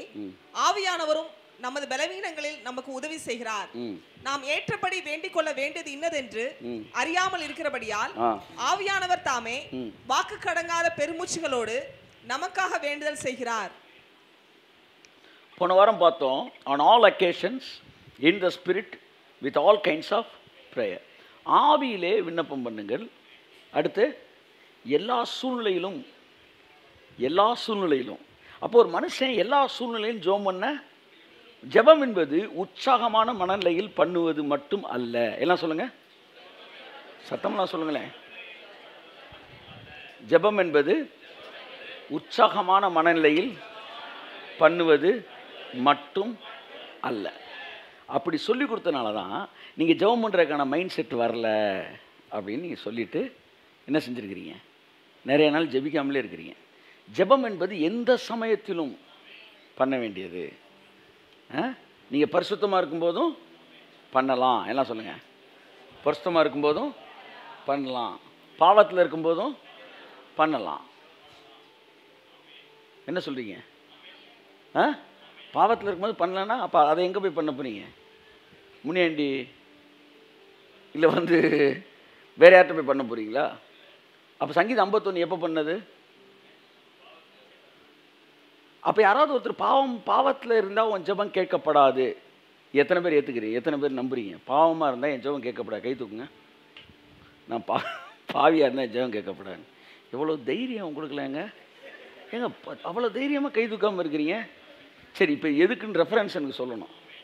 பாவமாக இருந்து பாவத்தில் இருக்கிறவன் ஜபம் கேட்கப்படாது கேட்கப்படும்ன்றீங்களே எந்த தைரியத்தில் சொல்கிறீங்க சிம்பிளான லாஜிக் சார் நான் போய் பாவத்தில் இருந்து ஆண்டவரையும் என் பாவத்தை மன்னிங்கன்றேன் இல்லைப்ப நீ பாவத்தில் இருக்கோம் ஜபத்தை கேட்க மாட்டேன் நான் ஒருத்தனும் பரிசுத்தமாகவே முடியாது அப்போ பாவத்தில் இருக்கவன் எல்லாம் ஜோம் பண்ணும்போது பரிசுத்தம் ஆகிறான்னா அப்போ பாவிகளுடைய ஜபத்தை அவர் கேட்குறாருன்னு தானே அர்த்தம் தேவன் பாவிகளுக்கு செவிகொடார்னு ஒரு குருடன் சொன்னான் அவன் வந்து என் நண்புக்குரியவர்களே வேத வசனத்தை ரெஃபரன்ஸில் பேசலை அவன் சொல்கிறான் அவன் அதை நம்பினான் இவரை பாவி இந்த மனுஷன் பாவின்னு சொல்கிறீங்களே தேவன் பாவியில் செவி கொடுக்க மாட்டார் இவர் செவி கொடுத்துருக்கிறாரு அப்படின்ற ரூட்டில் வரான் ஆனால் பைபிள் மிக தெளிவாக சொல்லுது பாவிகளுக்கு தன் வழியை தெளிவதை நீ நான் இது வரைக்கும் பாவிகள் ஜபத்தை கேட்பார்னு நான் சொல்கிறேன்னா நீங்கள் எல்லாம் பாவத்தில் இருங்கன்ற வார்த்தைக்கு நான் வரவே இல்லை எந்த ஒரு மனிதனும் தேவனிடத்தில் தைரியமாய் சேர முடியும் என்று சொல்ல வருகிறேன் எந்த சமயத்திலும் எந்த சமயத்திலும் நீங்கள் on all occasion you can pray with all kinds of prayer people ஜனங்கள் வந்து வித்தியாசமான மனநிலை இருக்கிறபடினால் வித்தியாசமாக இருக்கிற ஒவ்வொரு மனநிலையிலும் நீங்கள் அந்த மனநிலைக்கு இருந்து தேவனை தொடர்பு கொள்வதற்கு ஒரு ரூட்டை தேவன் உங்களுக்கு வச்சிருக்கிறாரு அந்த ரூட்டுக்கு பேர் தான் it's a kind of prayer it's a kind of prayer kind of ப்ரேயர்ன்ற தேவன் வந்து வந்து தனியாக செஞ்சு வச்சிருக்கிறது இல்லை ஒவ்வொரு மனநிலையில் இருக்கிறவனும் தன்னோடு வந்து இணைக்கப்பட வேண்டும் என்பதற்காக அந்த மனநிலையிலிருந்து பண்ணுகிற ஜபத்தை ஒரு ஒரு கைண்ட் ஆஃப் ப்ரேயர் அப்போ எல்லா நீங்கள் வந்து அந்த அந்த அந்த எல்லா மனநிலையிலும் இருக்கும்போது தேவனோட தொடர்பு கொள்ள முடியும் என்பதற்காகத்தான் எந்த சூழ்நிலையிலும் நீங்கள் வந்து ஆவியானவரோடு இணைந்து விட்டால் இந்த ஸ்பிரிட்டுக்கு நீங்கள் வந்துட்டீங்க மாம்சத்தில் இருந்தீங்கன்னா ஒரே பாட்டனை தான் நீங்கள் ஃபாலோ பண்ணுவீங்க ஆவியானவரோடு இணையும் போது நீங்கள் அந்த விஷயத்துக்கு என்ன செய்வீங்க தேவனோடு இணைக்கப்படுவீர்கள் என்பதை குறித்து போன போன வாரம் நம்ம என்ன செய்தோம் பார்த்தோம் ஆமே போன வாரம் ஒரு விஷயத்தை நான் சொன்னேன் அந்நிய பாஷையில் பேசுவது ஒரு பெரிய மாற்றத்தை நம்முடைய வாழ்க்கையில் கொண்டு வரும் ஆவியானவர் எனக்குள்ளே அதை புஷ் பண்ணுறாரு அதை சொல்ல சொல்கிறாரு ப்ரேயர்ன்றது இட் இஸ் இது வந்து ஒரு ஒபீடியன்ஸ் கிடையாது it is an act of faith விசுவாசத்தின் செயல்பாடு விசுவாசத்தின் செயல்பாடு எல்லாமே ஒபீடியன்ஸ்குள்ளே வருது ஒரு ஆக்டாக வரும் வர்ற ஒபீடியன்ஸ் கிடையாது இது விசுவாசத்தின் செயல்பாட்டின் வழியாக வருகிற ஒபீடியன்ஸ் விசுவாசத்தின் செயல்பாடு எல்லாம் புதிய ஏற்பாட்டில் ஒபீடியன்ஸாக எடுத்துக்கொள்ளப்படுகிறது முதலாவது டங்ஸ் டங்ஸில் நீங்கள் ஜோம் பண்ணும்போது வென் நீ ப்ரே இன் த ஸ்பிரிட் என்ன நடக்குது வெளிப்புறத்தில் எட்டாம் அதிகாரம் நான்காம் வாசனம் வாசிப்போம் நான் ஒரு அஞ்சு ஆசீர்வாதங்களை அந்நிய பாஷையில் பேசுகிற ஆசீர்வாதங்களை நான் பேசிட்டு நான் முடிக்கிறேன் ஆ வாசிங்க எட்டு நாள் அப்படியே பரிசுத்த பரிசுத்தவான்களுடைய ஜெபங்களோடும் செலுத்தப்பட்ட தூப வர்க்கத்தின் புகையானது தூதனுடைய கையில் இருந்து தேவனுக்கு முன்பாக எழும்பிற்று ஜெபம் எல்லாம் சொல்லுங்க புகை தூபம் எல்லாம் சொல்லுங்க ஜெபம் தூபம் புகை எல்லாம் சொல்லு ஜெபம் என்பது ஒரு புகை புகை போட்டால் என்னாகும் அட்மாஸ்பியரே மாறிடும் அப்படி தான் ஜோம் பண்ணால் அட்மாஸ்பியரே மாறும் very start pray in spirit அப்படி எல்லாம் ஸ்பிரிட்டில் ரிமான சந்தூரி பலபதுரி மெனமதியாக்கும் அப்படி அப்படியே வாயை திறந்து ஹலலூ the first blessing very start pray spirit world அப்படியே மாறுது உங்களை சுற்றி இருக்கிற எதிர்மறையான எண்ணங்கள் எல்லாம் உங்களை சுற்றி இருக்கிற எல்லா விதமான தோல்வியின் எண்ணங்கள் எல்லாம் எதிர்மறையான எண்ணங்கள் எல்லாம் இந்த புகையில் ஓ ஜபம் என்கிற தூப வர்க்கத்தில் அப்படியே உங்கள் மண்டலத்தை விட்டு வெளியேறுது ஒரு பெரிய டெலிவரன்ஸை கத்த தராரு ஹாலலூயா கரங்களை தட்டி கத்தருக்கு நன்றி சொல்லுவோம்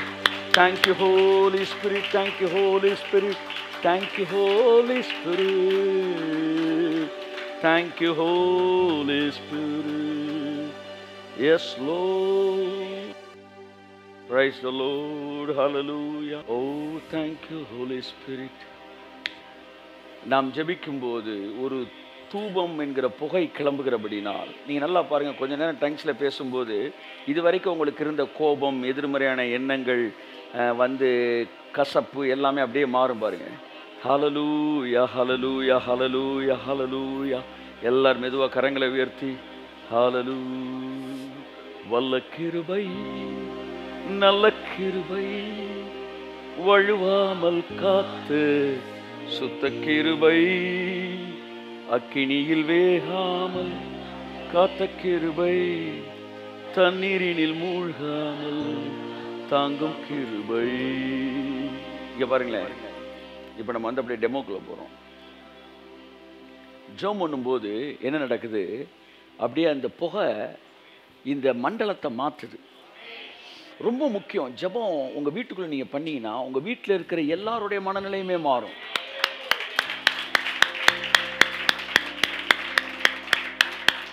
ஏன்னா it attacks the spirit world ஆவி மண்டலத்தில் ஒரு பெரிய சேஞ்ச் நடக்குது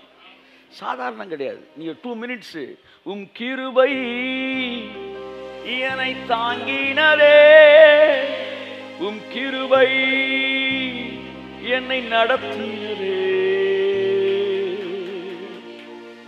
இதை நீங்கள் பாடும்போது ஒரு புறஜாதி உங்கள் பக்கத்தில் இருந்தால் கூட அவனுடைய மனநிலை மாறும் சார் என்னன்னு தெரில சார் ரொம்ப ஒரு எதிர்மறையான எண்ணத்தோட வந்தேன் வாழ்க்கையை முடிச்சுக்கலான்னு வந்தேன் உங்கள் பக்கத்தில் வந்தோடனே எனக்கு வாழலாம்னு தோணுது சார் ஆமே இதுதான் காட்டு பார்க்கணும் ஆமாம் ஹலோ லூயா கையை தட்டி நல்லா நன்றி சொல்லுவோம் அல்லே அல்லே லூயா அல்லே அல்லே லூயா அல்லே அல்லே லூயா அல்லே அல்லே லூயா வல்ல கிருபை நல்ல கிருபை வழுவாமல் காத்து சுத்த கிருபை அக்கினியில் வேகாமல் காத்த கிருவை தண்ணீரில் மூழ்காமல் தாங்கும் கிருவை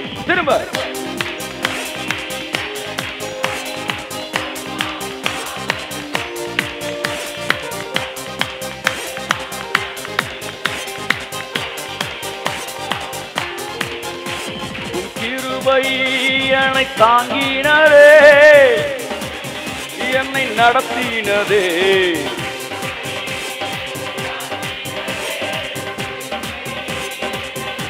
கையை தட்டி அல்லே அல்லே லூயா அல்லே அல்லே லூயா அல்லே அல்லே லூயா தரம் தரம் அல்லே அல்லே தன் தன் தகிரகிரி நல்லா தட்டுங்களேன் அப்ப தேவன் ஜபம்ன்றது வந்து ஒரு பேக்கேஜ் ப்ரைஸிங் ஒர்ஷிப்பு வந்து conversation dialogue walking with God எல்லாம் சேர்ந்து அந்த பேக்கேஜ் இப்போ தான் ப்ரேயர் அந்த ப்ரேயர் தொடங்கின உடனே ஃபஸ்ட்டு அது ஒரு புகை ஜபம் என்பது ஒரு புகை ஆமாம் தமிழ்நாட்டில் கேட்காத ஒரு வெளிப்பாடு உங்களுக்கு சொல்கிறேன் ஆமாம் ஜபம் என்பது புகை பாருங்கள் நான் கேட்குறேன் பக்கத்தில் இருந்து ஒருத்தன் டம்மு போடுறான் சார் டிவியில் அட்வர்டைஸ்மெண்ட் காட்டுறேன் கவர்மெண்ட் அட்வர்டைஸ்மெண்ட் என்னன்னா அவன் அவன் தம் அடித்து ஊதும்போது பக்கத்தில் இருக்கிற யார் ஒரு குழந்தைய வந்து அது பாதிக்குது இவன் விடுற தம்மு அந்த புகை அந்த வீட்டில் இருக்கிறவனுக்கெல்லாம் கூட கேன்சரை கொடுக்குன்றாங்க நான் கேட்குறேன் நீங்கள் போடுற புகை இருக்கிறவன்லாம் ஹீல் ஆக்காதா கையை அல்லே அல்லே அல்லே அல்லே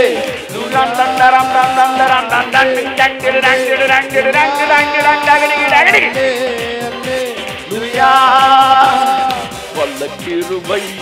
நல்ல கிருவை வழுவாமல் காத்த சுத்த கிருவை அக்கினியில் வேகாமல் காத்த கிருவை தண்ணீரிலே மூழ்காமல் காத்த ஆமே வல்ல கிருவை நல்ல கிருவை வழுவாமல் காத்த சுத்த கிருபை இடியில் வேகாமல் காத்த கிருபை தண்ணீரில் மூழ்காமல் கரங்களை தட்டி கிருபை என்னை தாங்கினதே கிருபை என்னை நடத்தினதே கிருபை என்னை தாங்கினதே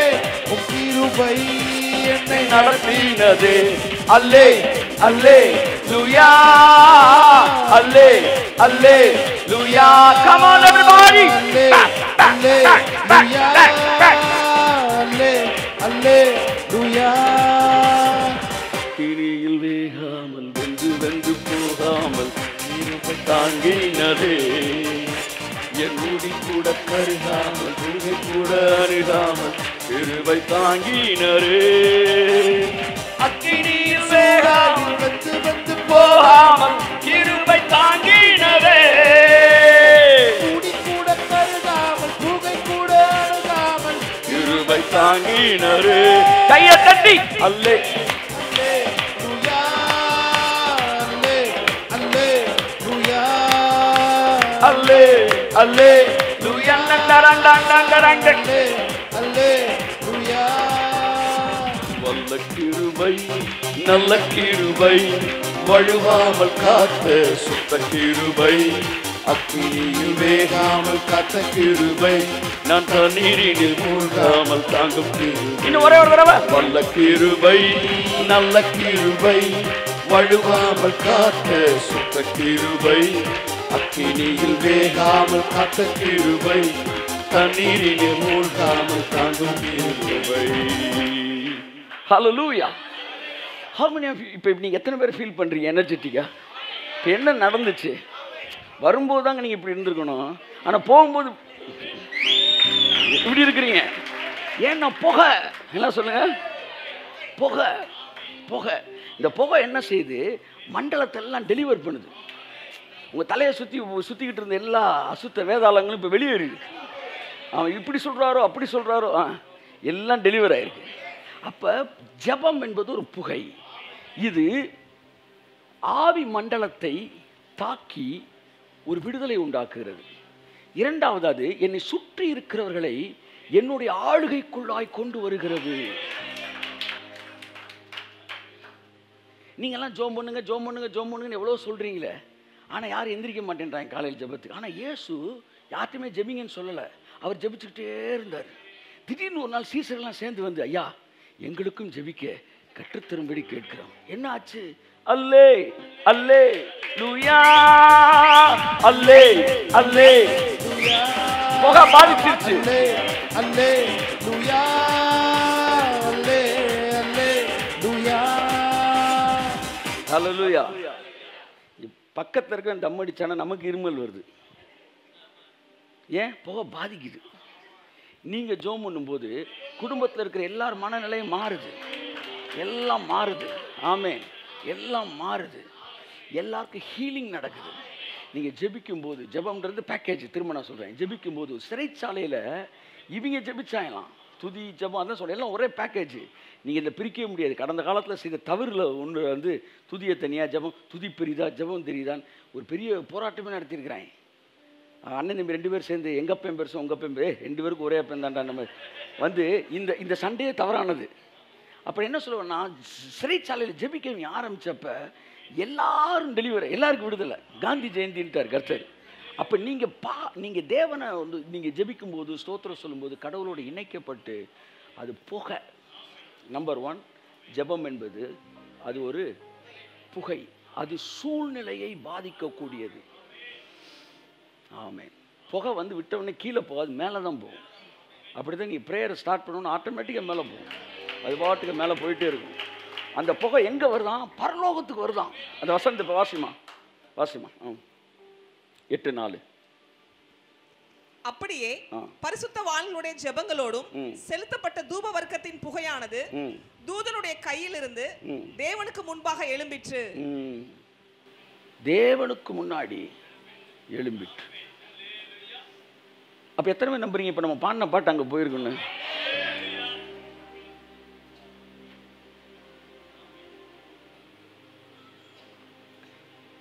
ஹலோ லூயா நான் ஒரு ஆறு பாயிண்ட் எழுதிட்டு வந்திருக்கேன் ரெண்டு பாயிண்ட்டோடு முடிச்சிடுறேன் மீதி அப்புறம் எடுப்போம் ஒன்று குருந்தியர் பதினான்கு பதினான்கு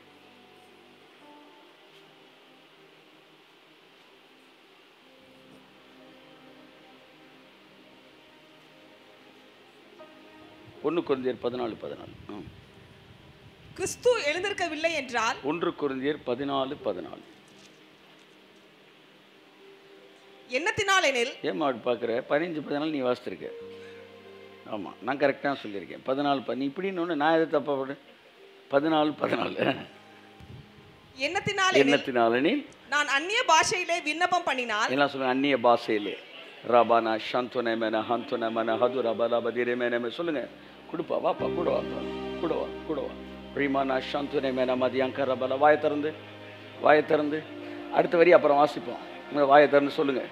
ரிமன மஷத்துரை பல ஹத்துரை மென ஹம்துரை மென மதியாங்கர பலபுதுர பலபு ரிமன சந்துனி மென மதியாங்கர பலபு ரிமன சந்துனி மென மதியாங்கர பல பர பர பர பர பர பலபு சந்துனி மென ஹம்துனி பல பதுரி பெலி வெளிபுதுரி பலபுதுரி இந்த உலகத்தில் மிகப்பெரிய பிரச்சனை எது தெரியுமா எது சொல்லுங்கள் வியாதி அல்ல வியாதியை குறித்த எண்ணம் பயம் இந்த உலகத்தில் மிகப்பெரிய பிரச்சனை கடன் அல்ல கடனை குறித்த பயம் இந்த உலகத்தில் மிகப்பெரிய பிரச்சனை எதிர்காலம் அல்ல எதிர்காலத்தை குறித்த பயம் இந்த உலகத்தில் மிகப்பெரிய பிரச்சனை கணவன் மனைவி சண்டை அல்ல ஒருவேளை வாழ்க்கை எப்படி இருந்துருமோ என்கிற தேவையில்லாத பயம் நான் சொல்லவா இந்த உலகத்தில் இருக்கிற பிரச்சனையிலே பெரிய பிரச்சனை உங்களுடைய மைண்டு இது உங்கள்கிட்ட பேசிக்கிட்டே இருக்கும் நைட் அண்ட் டே உங்களை பயமுறுத்திக்கிட்டே இருக்கும் இதுக்கு ரெஸ்ட்டே கிடையாது டுவெண்ட்டி நீங்கள் விரும்பாட்டினா கூட உங்கள்கிட்ட பேசும்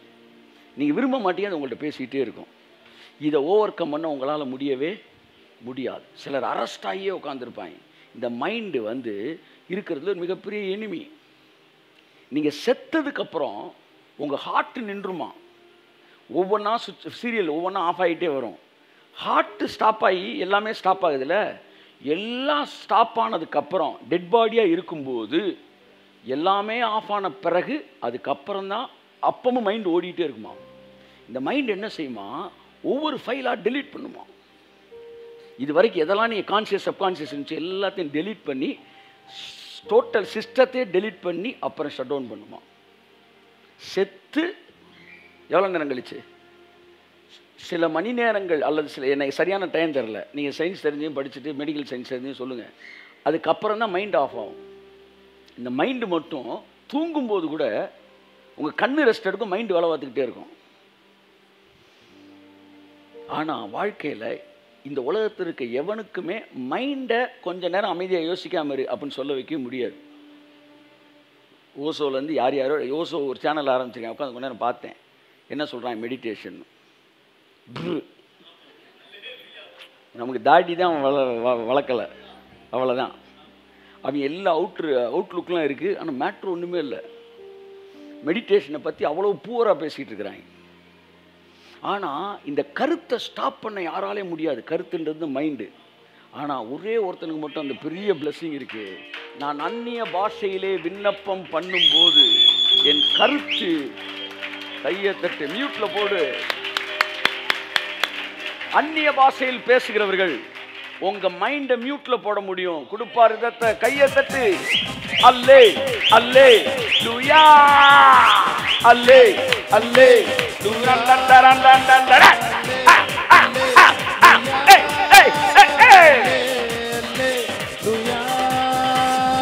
அக்கினியில் வெந்து வெந்து போகாமல் கிருபை தாங்கி கொஞ்சம் வாலிம பெற பூகை கூட அருகாமல் பூகை கூட அருகாமல் கிருபை தாங்கினரே வந்து வந்து போகாமல் தாங்கினரே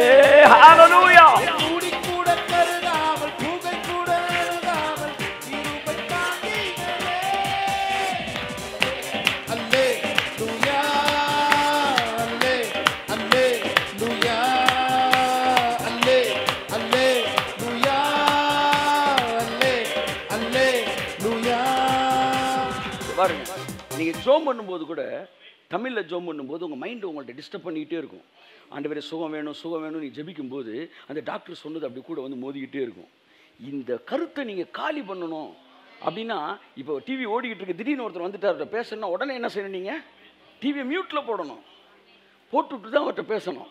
என்னை இது டிஸ்டர்ப் பண்ணும் அப்படி தான் நீங்கள் கடவுள்கிட்ட பேசும்போது டக்குன்னு இந்த மைண்டை மியூட்டில் போட்டுணும் எப்போ அந்நிய பாசையில் பேச அதிகமான ஷாந்துன நம்ம ஹாத்துர் அபால் அதிகமான நாம ஷாந்துனாமா நம்ம அது அப்படின்னு ஒன்று இந்த மைண்டு மியூட்டுக்கு வந்துடும் இந்த லாஜிக்கல் பாயிண்ட் அதெல்லாம் மியூட்டுக்கு வந்துடும் இந்த ஸ்பிரிட்டில் நீங்கள் டங்ஸில் பேசும்போது it will surpass all the logical points கையெழுத்து ஆமே வல்ல கிருபை நல்ல கிருபை வழுவராமல் காத்த சுத்தத்திருவை அக்கினியில் நான் தண்ணீரில் மூழ்காமல் தாங்கும் தீர்வை வல்ல தீருவை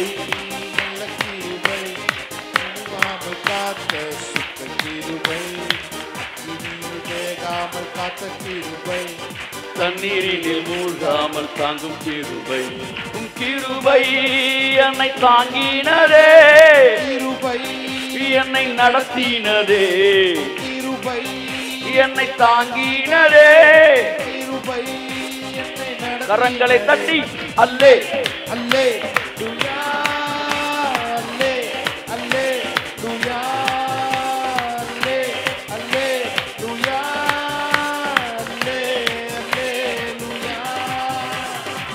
ரெண்டு பாயிண்ட் பார்த்துருக்குறோம்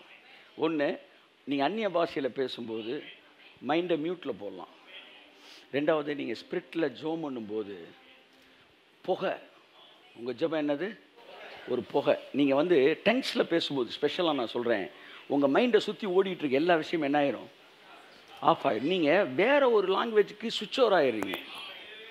தமிழ் பேசிக்கிட்டே இருந்த நீங்கள் டக்குன்னு என்ன செஞ்சீங்க இங்கிலீஷுக்கு சுவிட்ச் ஓவர் ஆனோடனே பிசாசு தமிழில் பேசிக்கிட்டு இருந்தவன் என்னடா அவன் இங்கிலீஷில் பேசுகிறானோடனே இங்கிலீஷில் பேசுகிறான் நல்லா கவனிங்க இங்கிலீஷில் பேசிகிட்டு இருக்கிறான் உங்களுக்கு வந்த வியாதியை பற்றி நீங்கள் டக்குன்னு ஜாப்பனீஸுக்கு மாறுறீங்க அவனுக்கு ஜாப்பனீஸ் தெரியும் டக்குன்னு ஜாப்பனீஸுக்கு வந்து உங்களுக்கு எதிரான விஷயங்கள்லாம் சொல்லிக்கிட்டே இருக்கிறான் நீங்கள் பார்க்குறீங்க உனக்கு தெரியாத ஒரு பாஷை நான் நான் அந்நிய பாஷைகளை வரீங்க இந்த அந்நிய பாஷைகளை வந்தவன அந்நிய பாஷையில் பேசுகிறவன் தேவனோடு ரகசியங்களை பேசுகிறான் ரகசியம்னா நீங்கள் என்னன்னு நினைக்கிறீங்க காது கிட்ட போய் அப்படி இல்லை இப்போ நான் பேசுகிறேன் இப்போ செல்வா பார்த்து இப்போ இது வந்து விஜயை பார்த்து பேசுகிறேன் நேற்றத்துக்கு நீ வட்டம் தந்துறப்ப நான் வெட்டலி பட்டிருந்தேன் தம்பி நாட்டலிக்கு நீ வட்டமே சொல்லிட்டு வந்துருங்க புட்டுருதா இந்த பாஷை தெரிஞ்சவனுக்கு இப்போ நான் பேசின அர்த்தம் என்னென்னு கரெக்டாக தெரியும் நான் சும்மா உளரல ரொம்ப தெளிவாக பேசியிருக்கிறேன் நேற்றத்துக்கு நீ வட்டம் தந்துறப்ப நான் வெட்டிலி போயிட்டுருந்தேன் நாட்டலைக்கு நீ வட்டம் போது சொட்டலிட்டு வந்து நான் வீட்டில் இருப்பேன் நே நேற்று நீ நேற்று நீ வந்திருந்தப்ப நான் வெளியே போயிருந்தேன்ப்பா ஆ நாளைக்கு வரும்போது சொல்லிட்டு நான் வீட்டில் இருக்கேன்னு இது நிறையா பேருக்கு தெரியும் இப்படி ஒரு ஆறு பாஷை இருக்குது நகைக்கு நீ வைக்கணும் போது நான் வைக்கல வைக்கிருந்தேன் அப்படி இப்போ நான் சத்தமாக தான் பேசுகிறேன் ஆனால் எவனுக்கும் புரியாது இப்போ நீ அந்நிய பாஷையில் பேசும்போது சவுண்டை குறைச்சி பேசலை அவனுக்கு புரியாத ஒரு பாஷையில் நீ தேவனோட பேசிகிட்டு இருக்கிறீங்க பிசாசு உங்களை இன்ட்ராக்ட் பண்ணி உங்களை வந்து என்ன பண்ண முடியாது வந்து உங்களுக்குள்ளே வந்து உங்கள் மைண்டை கேப்சர் பண்ண முடியாது நீங்கள் வேறு ஒரு ட்ராக்கில் கடவுளோட இணைஞ்சிட்டீங்க இந்த டங்ஸில் பேசுகிற ஒரு பெரிய பிளஸ்ஸிங் ஒரு பதினஞ்சு நிமிஷம் நீ பத்து நிமிஷம் நீ அப்படியே எவ்வளோ நேரம் ஆவியானவர் நீ டைம்லாம் ஃபிக்ஸ் பண்ணாங்க அப்படியே பேச ஆரம்பிக்கும் போது என்ன நடக்குன்னா புகை புகை என்ன சொல்லுங்கள் புகை ஆமாம் புகை போட்டு புகை போட்டே பழுக்க வச்சிருந்தோம் எல்லாத்தையும்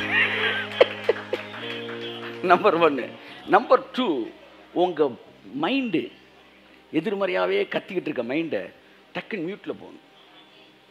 நிறையா பேர் வந்து டிவியை மியூட்டில் போடுற மாதிரி ஒய்ஃபு வாயை மியூட்டில் போடுற மாதிரி ஏதாச்சும் வந்து ரிமோட் இருந்தால் கொடுங்க அப்படின்றாங்க வந்து வாட்ஸ்அப்பில்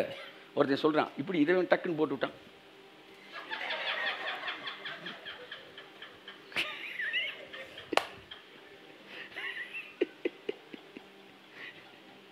இப்போ நீங்கள் டங்ஸில் பேசும்போது பிசாசை மியூட்டில் போட்டு விட்ருங்க ஏன்னா அவன் மைண்ட் வலி அவன் பற்றி ஒன்றும் புரியல ரீமானா சந்துனே மேனே ஹாத்துரா பலபதியாங்கரா பலபதுரா நீ இம்மீடியட்டாக அந்த விஷயங்கள்லேருந்து டெலிவர் ஆயிடுறீங்க ரொம்ப பெரிய விஷயம் ஜோம் பண்ணும்போது உங்கள் ஆவி மண்டலம் கிளியர் ஆகுது உங்கள் சுற்றி இருக்கிறவங்கள அது பாதிக்குது ரெண்டாவது உங்கள் மைண்டு லாஜிக்கல் பாயிண்ட்ஸ் பேசிக்கிட்டே இருக்கும் லாஜிக்கல் பாயிண்ட் சொல்லிக்கிட்டே இருக்கும் ஏதாச்சும் ஒன்று சொல்லிக்கிட்டே இருக்கும் இப்படி ஆனால் அப்படி ஆயிரும்ல அப்படி ஆனால் இப்படி ஆயிரும்ல இல்லை நான் எதுக்கு சொல்கிறேன்னா அதுக்கு நீ பதிலே சொல்ல முடியாது ஒரே வழி என்ன செய்யணும் மியூட்டில் போட்டு டெங்ஸில் டெங்ஸில் பேசணும் நான் ஆவியில் விண்ணப்பம் பண்ணும்போது என் கருத்து அது ஆங்கிலத்தில் எப்படி இருக்குது மியூட்டில் வருது என் கருத்து வந்து என்ன இது ஆங்கிலத்தில் என்ன இருக்குது ஆ அன் அதுதான் முக்கியம் அண்டர்ஸ்டாண்டிங் முக்கியம் இல்லை கடைசியாக சொன்ன வார்த்தையை சொல்லுன்றேன் அன்ஃப்ரூட்ஃபுல் அதுதான் வேணும் அண்டர்ஸ்டாண்டிங் தெரியும்ல அன்ஃப்ரூட்ஃபுல் அப்படின்னா அது வந்து யூஸே இல்லாமல் போயிடும் ஏன்னா அதுதான் உங்கள் ப்ரேயருக்கு பெரிய டிஸ்டர்பன்ஸு அதனால தான் ஸ்பிரிட்டில் கனெக்ட் ஆகி தேங்க்ஸில் ஜோம் பண்ணுங்கள் கத்துறவங்களை ஆசிரியப்பா ரெண்டு பாயிண்ட் போதும் நான் அடுத்த அடுத்த வாரம் பார்ப்போம் கண்ணமடி ஜோம் பண்ணுவோம் எத்தனைக்கு ஆசீர்வாதமாக இருந்துச்சு இவருங்க ரொம்ப அப்படியே வந்து ஃப்ரேம் பண்ண மாதிரிலாம் நமக்கு செய்தி கொடுக்க தெரியாது ஆனால் ஒன்று தெரிஞ்சுக்கங்க இன்றைக்கி ஆவியான பேச எல்லா விஷயத்தையும் நான் பேசியிருக்கிறேன் முதல் first of is very important thing very important thing அது என்னென்னா உங்கள் பர்சனாலிட்டி உங்கள் வார்த்தைகளை செய்திகளை கேட்பதிலே மாற வேண்டும் அது மாறிக்கொண்டு இருக்கிறது நீங்கள் இன்னும் அதிகமாக அதை உள்வாங்க வேண்டும் உள்வாங்கும் போது ஆண்டவரே என் கேரக்டர் அந்த ஏரியாவில் பந்தை நீங்கள் தடுத்து தடுத்து விடக்கூடாது அந்த இடத்துல உள் வாங்கணும் உள் வாங்க வாங்க உங்கள் கேரக்டரில் ஒரு பெரிய சேஞ்சஸ் வரும் ஆமே இரண்டாவது ப்ரேயரை பற்றி பார்த்தோம் வீட்டுக்கு போய் நிறையா புகை என்ன செய்யுங்க போடுங்க குறைஞ்சி ஒரு பத்து நிமிஷம் உங்கள் வீட்டில் ஜோம் பண்ணி தூங்க உங்கள் வீடு ஃபுல்லாக புகை போட்டீங்க நீங்கள் அப்படியே கும்பு நீங்கள் நிம்மதியாக தூங்கலாம் சார் எந்த வித கொசுக்கடியும் வராது பிசாசுக்கு நீங்கள் கொசுன்ற இடத்துல வச்சுக்கோங்க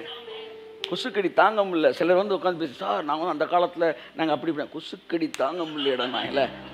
பிசாஸ் வந்து அப்படி சொல்லும்போது நீ என்ன செய்ய ஜஸ்ட்டு ஸ்டார்ட் ப்ரேயிங் தேங்க்ஸ் கண்ணமுடி ஜோம் பண்ணும் பிதாவே நல்ல நேரத்துக்கு நன்றி சொல்லுகிறோம் உங்கள் வார்த்தையை நாங்கள் தியானித்தோம் எஸ் லோ கொஞ்சம் பேர் கூட ப்ரேயர் பாயிண்ட்ஸ் எழுதி கொடுத்துருக்காங்க எல்லோரும் நான் ஆசீர்வதிக்கிறேன் ராந்த் ஹலோ என்ன மேனே ஹாந்துனே மேனே ஜியோங்க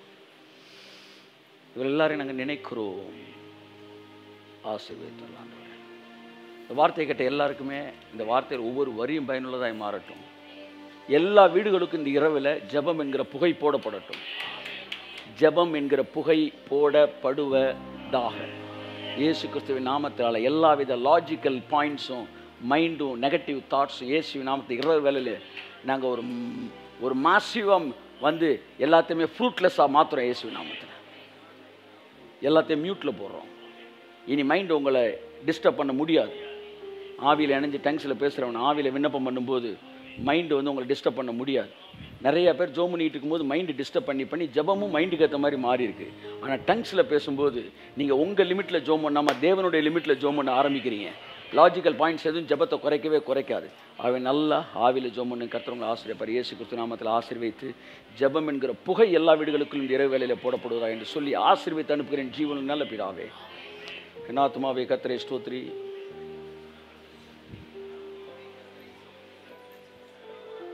ஆமேன் ஆமேன் ஒரு அறிவிப்பு ஏப்ரல் மாதம் இருபத்தெட்டுலேருந்து இருபத்தெட்டு இருபத்தொம்பது முப்பது மூன்று நாட்கள் சென்னையில் வந்து ஃபாதர் சோர்ஸ் நடத்துகிற ஜெசுடியன் நடத்துகிற ஒரு த்ரீ டேஸ் கான்ஃபரன்ஸ் இருக்குது லைஃப் கான்ஃபரன்ஸு அதில் வந்து நானும் கூட பேசுகிறேன் அது ஏப்ரல் மாதம் இருபத்தி எட்டு மு இருபத்தொம்போது முப்பது மூன்று நாட்கள் நடைபெறுகிறது ஸோ அதுக்கு கலந்து கொள்ள விரும்புகிறவர்கள் நீங்கள் சென்னை வாசிகள் இந்த அந்த மக்கள்லாம் நீ மற்ற இடங்களில் இருக்கிறவங்க யாரும் கலந்து கொள்ளணும் நீங்கள் அதற்கு வந்து நீங்கள் பதிவு செய்து கொள்ளலாம் தொண்ணூற்றி ஏழு தொள்ளாயிரத்தி ஏழு ஐம்பத்தி நாலு ஐம்பத்தி நாலு அஞ்சு இந்த நம்பருக்கு நம்முடைய ட்ரான் டிரான்ஸ்பிரேஷன் கேம்ப்பு மே மாதம் பதிமூன்று பதினான்கு பதினைந்து மூன்று நாட்கள் நடைபெறுகிறது அதை அது இரநூறு பேருக்கு மட்டும்தான் அதில் கலந்து கொள்ள விரும்புகிறவர்கள் எண்பத்தி ஏழு அறுபது அறுபது தொண்ணூறு முப்பது என்கிற எண்ணிற்கு தொடர்பு கொள்ளுங்கள் இந்த ரெண்டையும் வந்து நான் இது பண்ணிருந்தேன் அப்போ தமிழன் டிவியில் வந்து செய்தியில் ஒலிபரப்பாகி கொண்டு இருக்கிறது ஐம்பத்தி மூணு எபிசோடில் ஒரு பதினாலு எபிசோடு புக்காக இருக்குது இன்னும் முப்பத்தி ஒம்பது எபிசோட் பெண்டிங்கில் இருக்குது நீங்கள் அந்த எபிசோடை நீங்கள் ஸ்பான்சர் பண்ண விரும்பினால் ஸ்பான்சர் பண்ணலாம் இடையில ஞாபகத்துக்கு வரும்போது அதை நான் சொல்லுவேன் முப்பத்தொம்பது எபிசோடுக்கு per episode five thousand rupees God bless you வேறு எதுவும் அறிவிப்பு அடுத்த வாரம் புதன்கிழமை நம்மளுக்கு பைபிள் ஸ்டடி இருக்கிறது காட் பிளஸ் யூ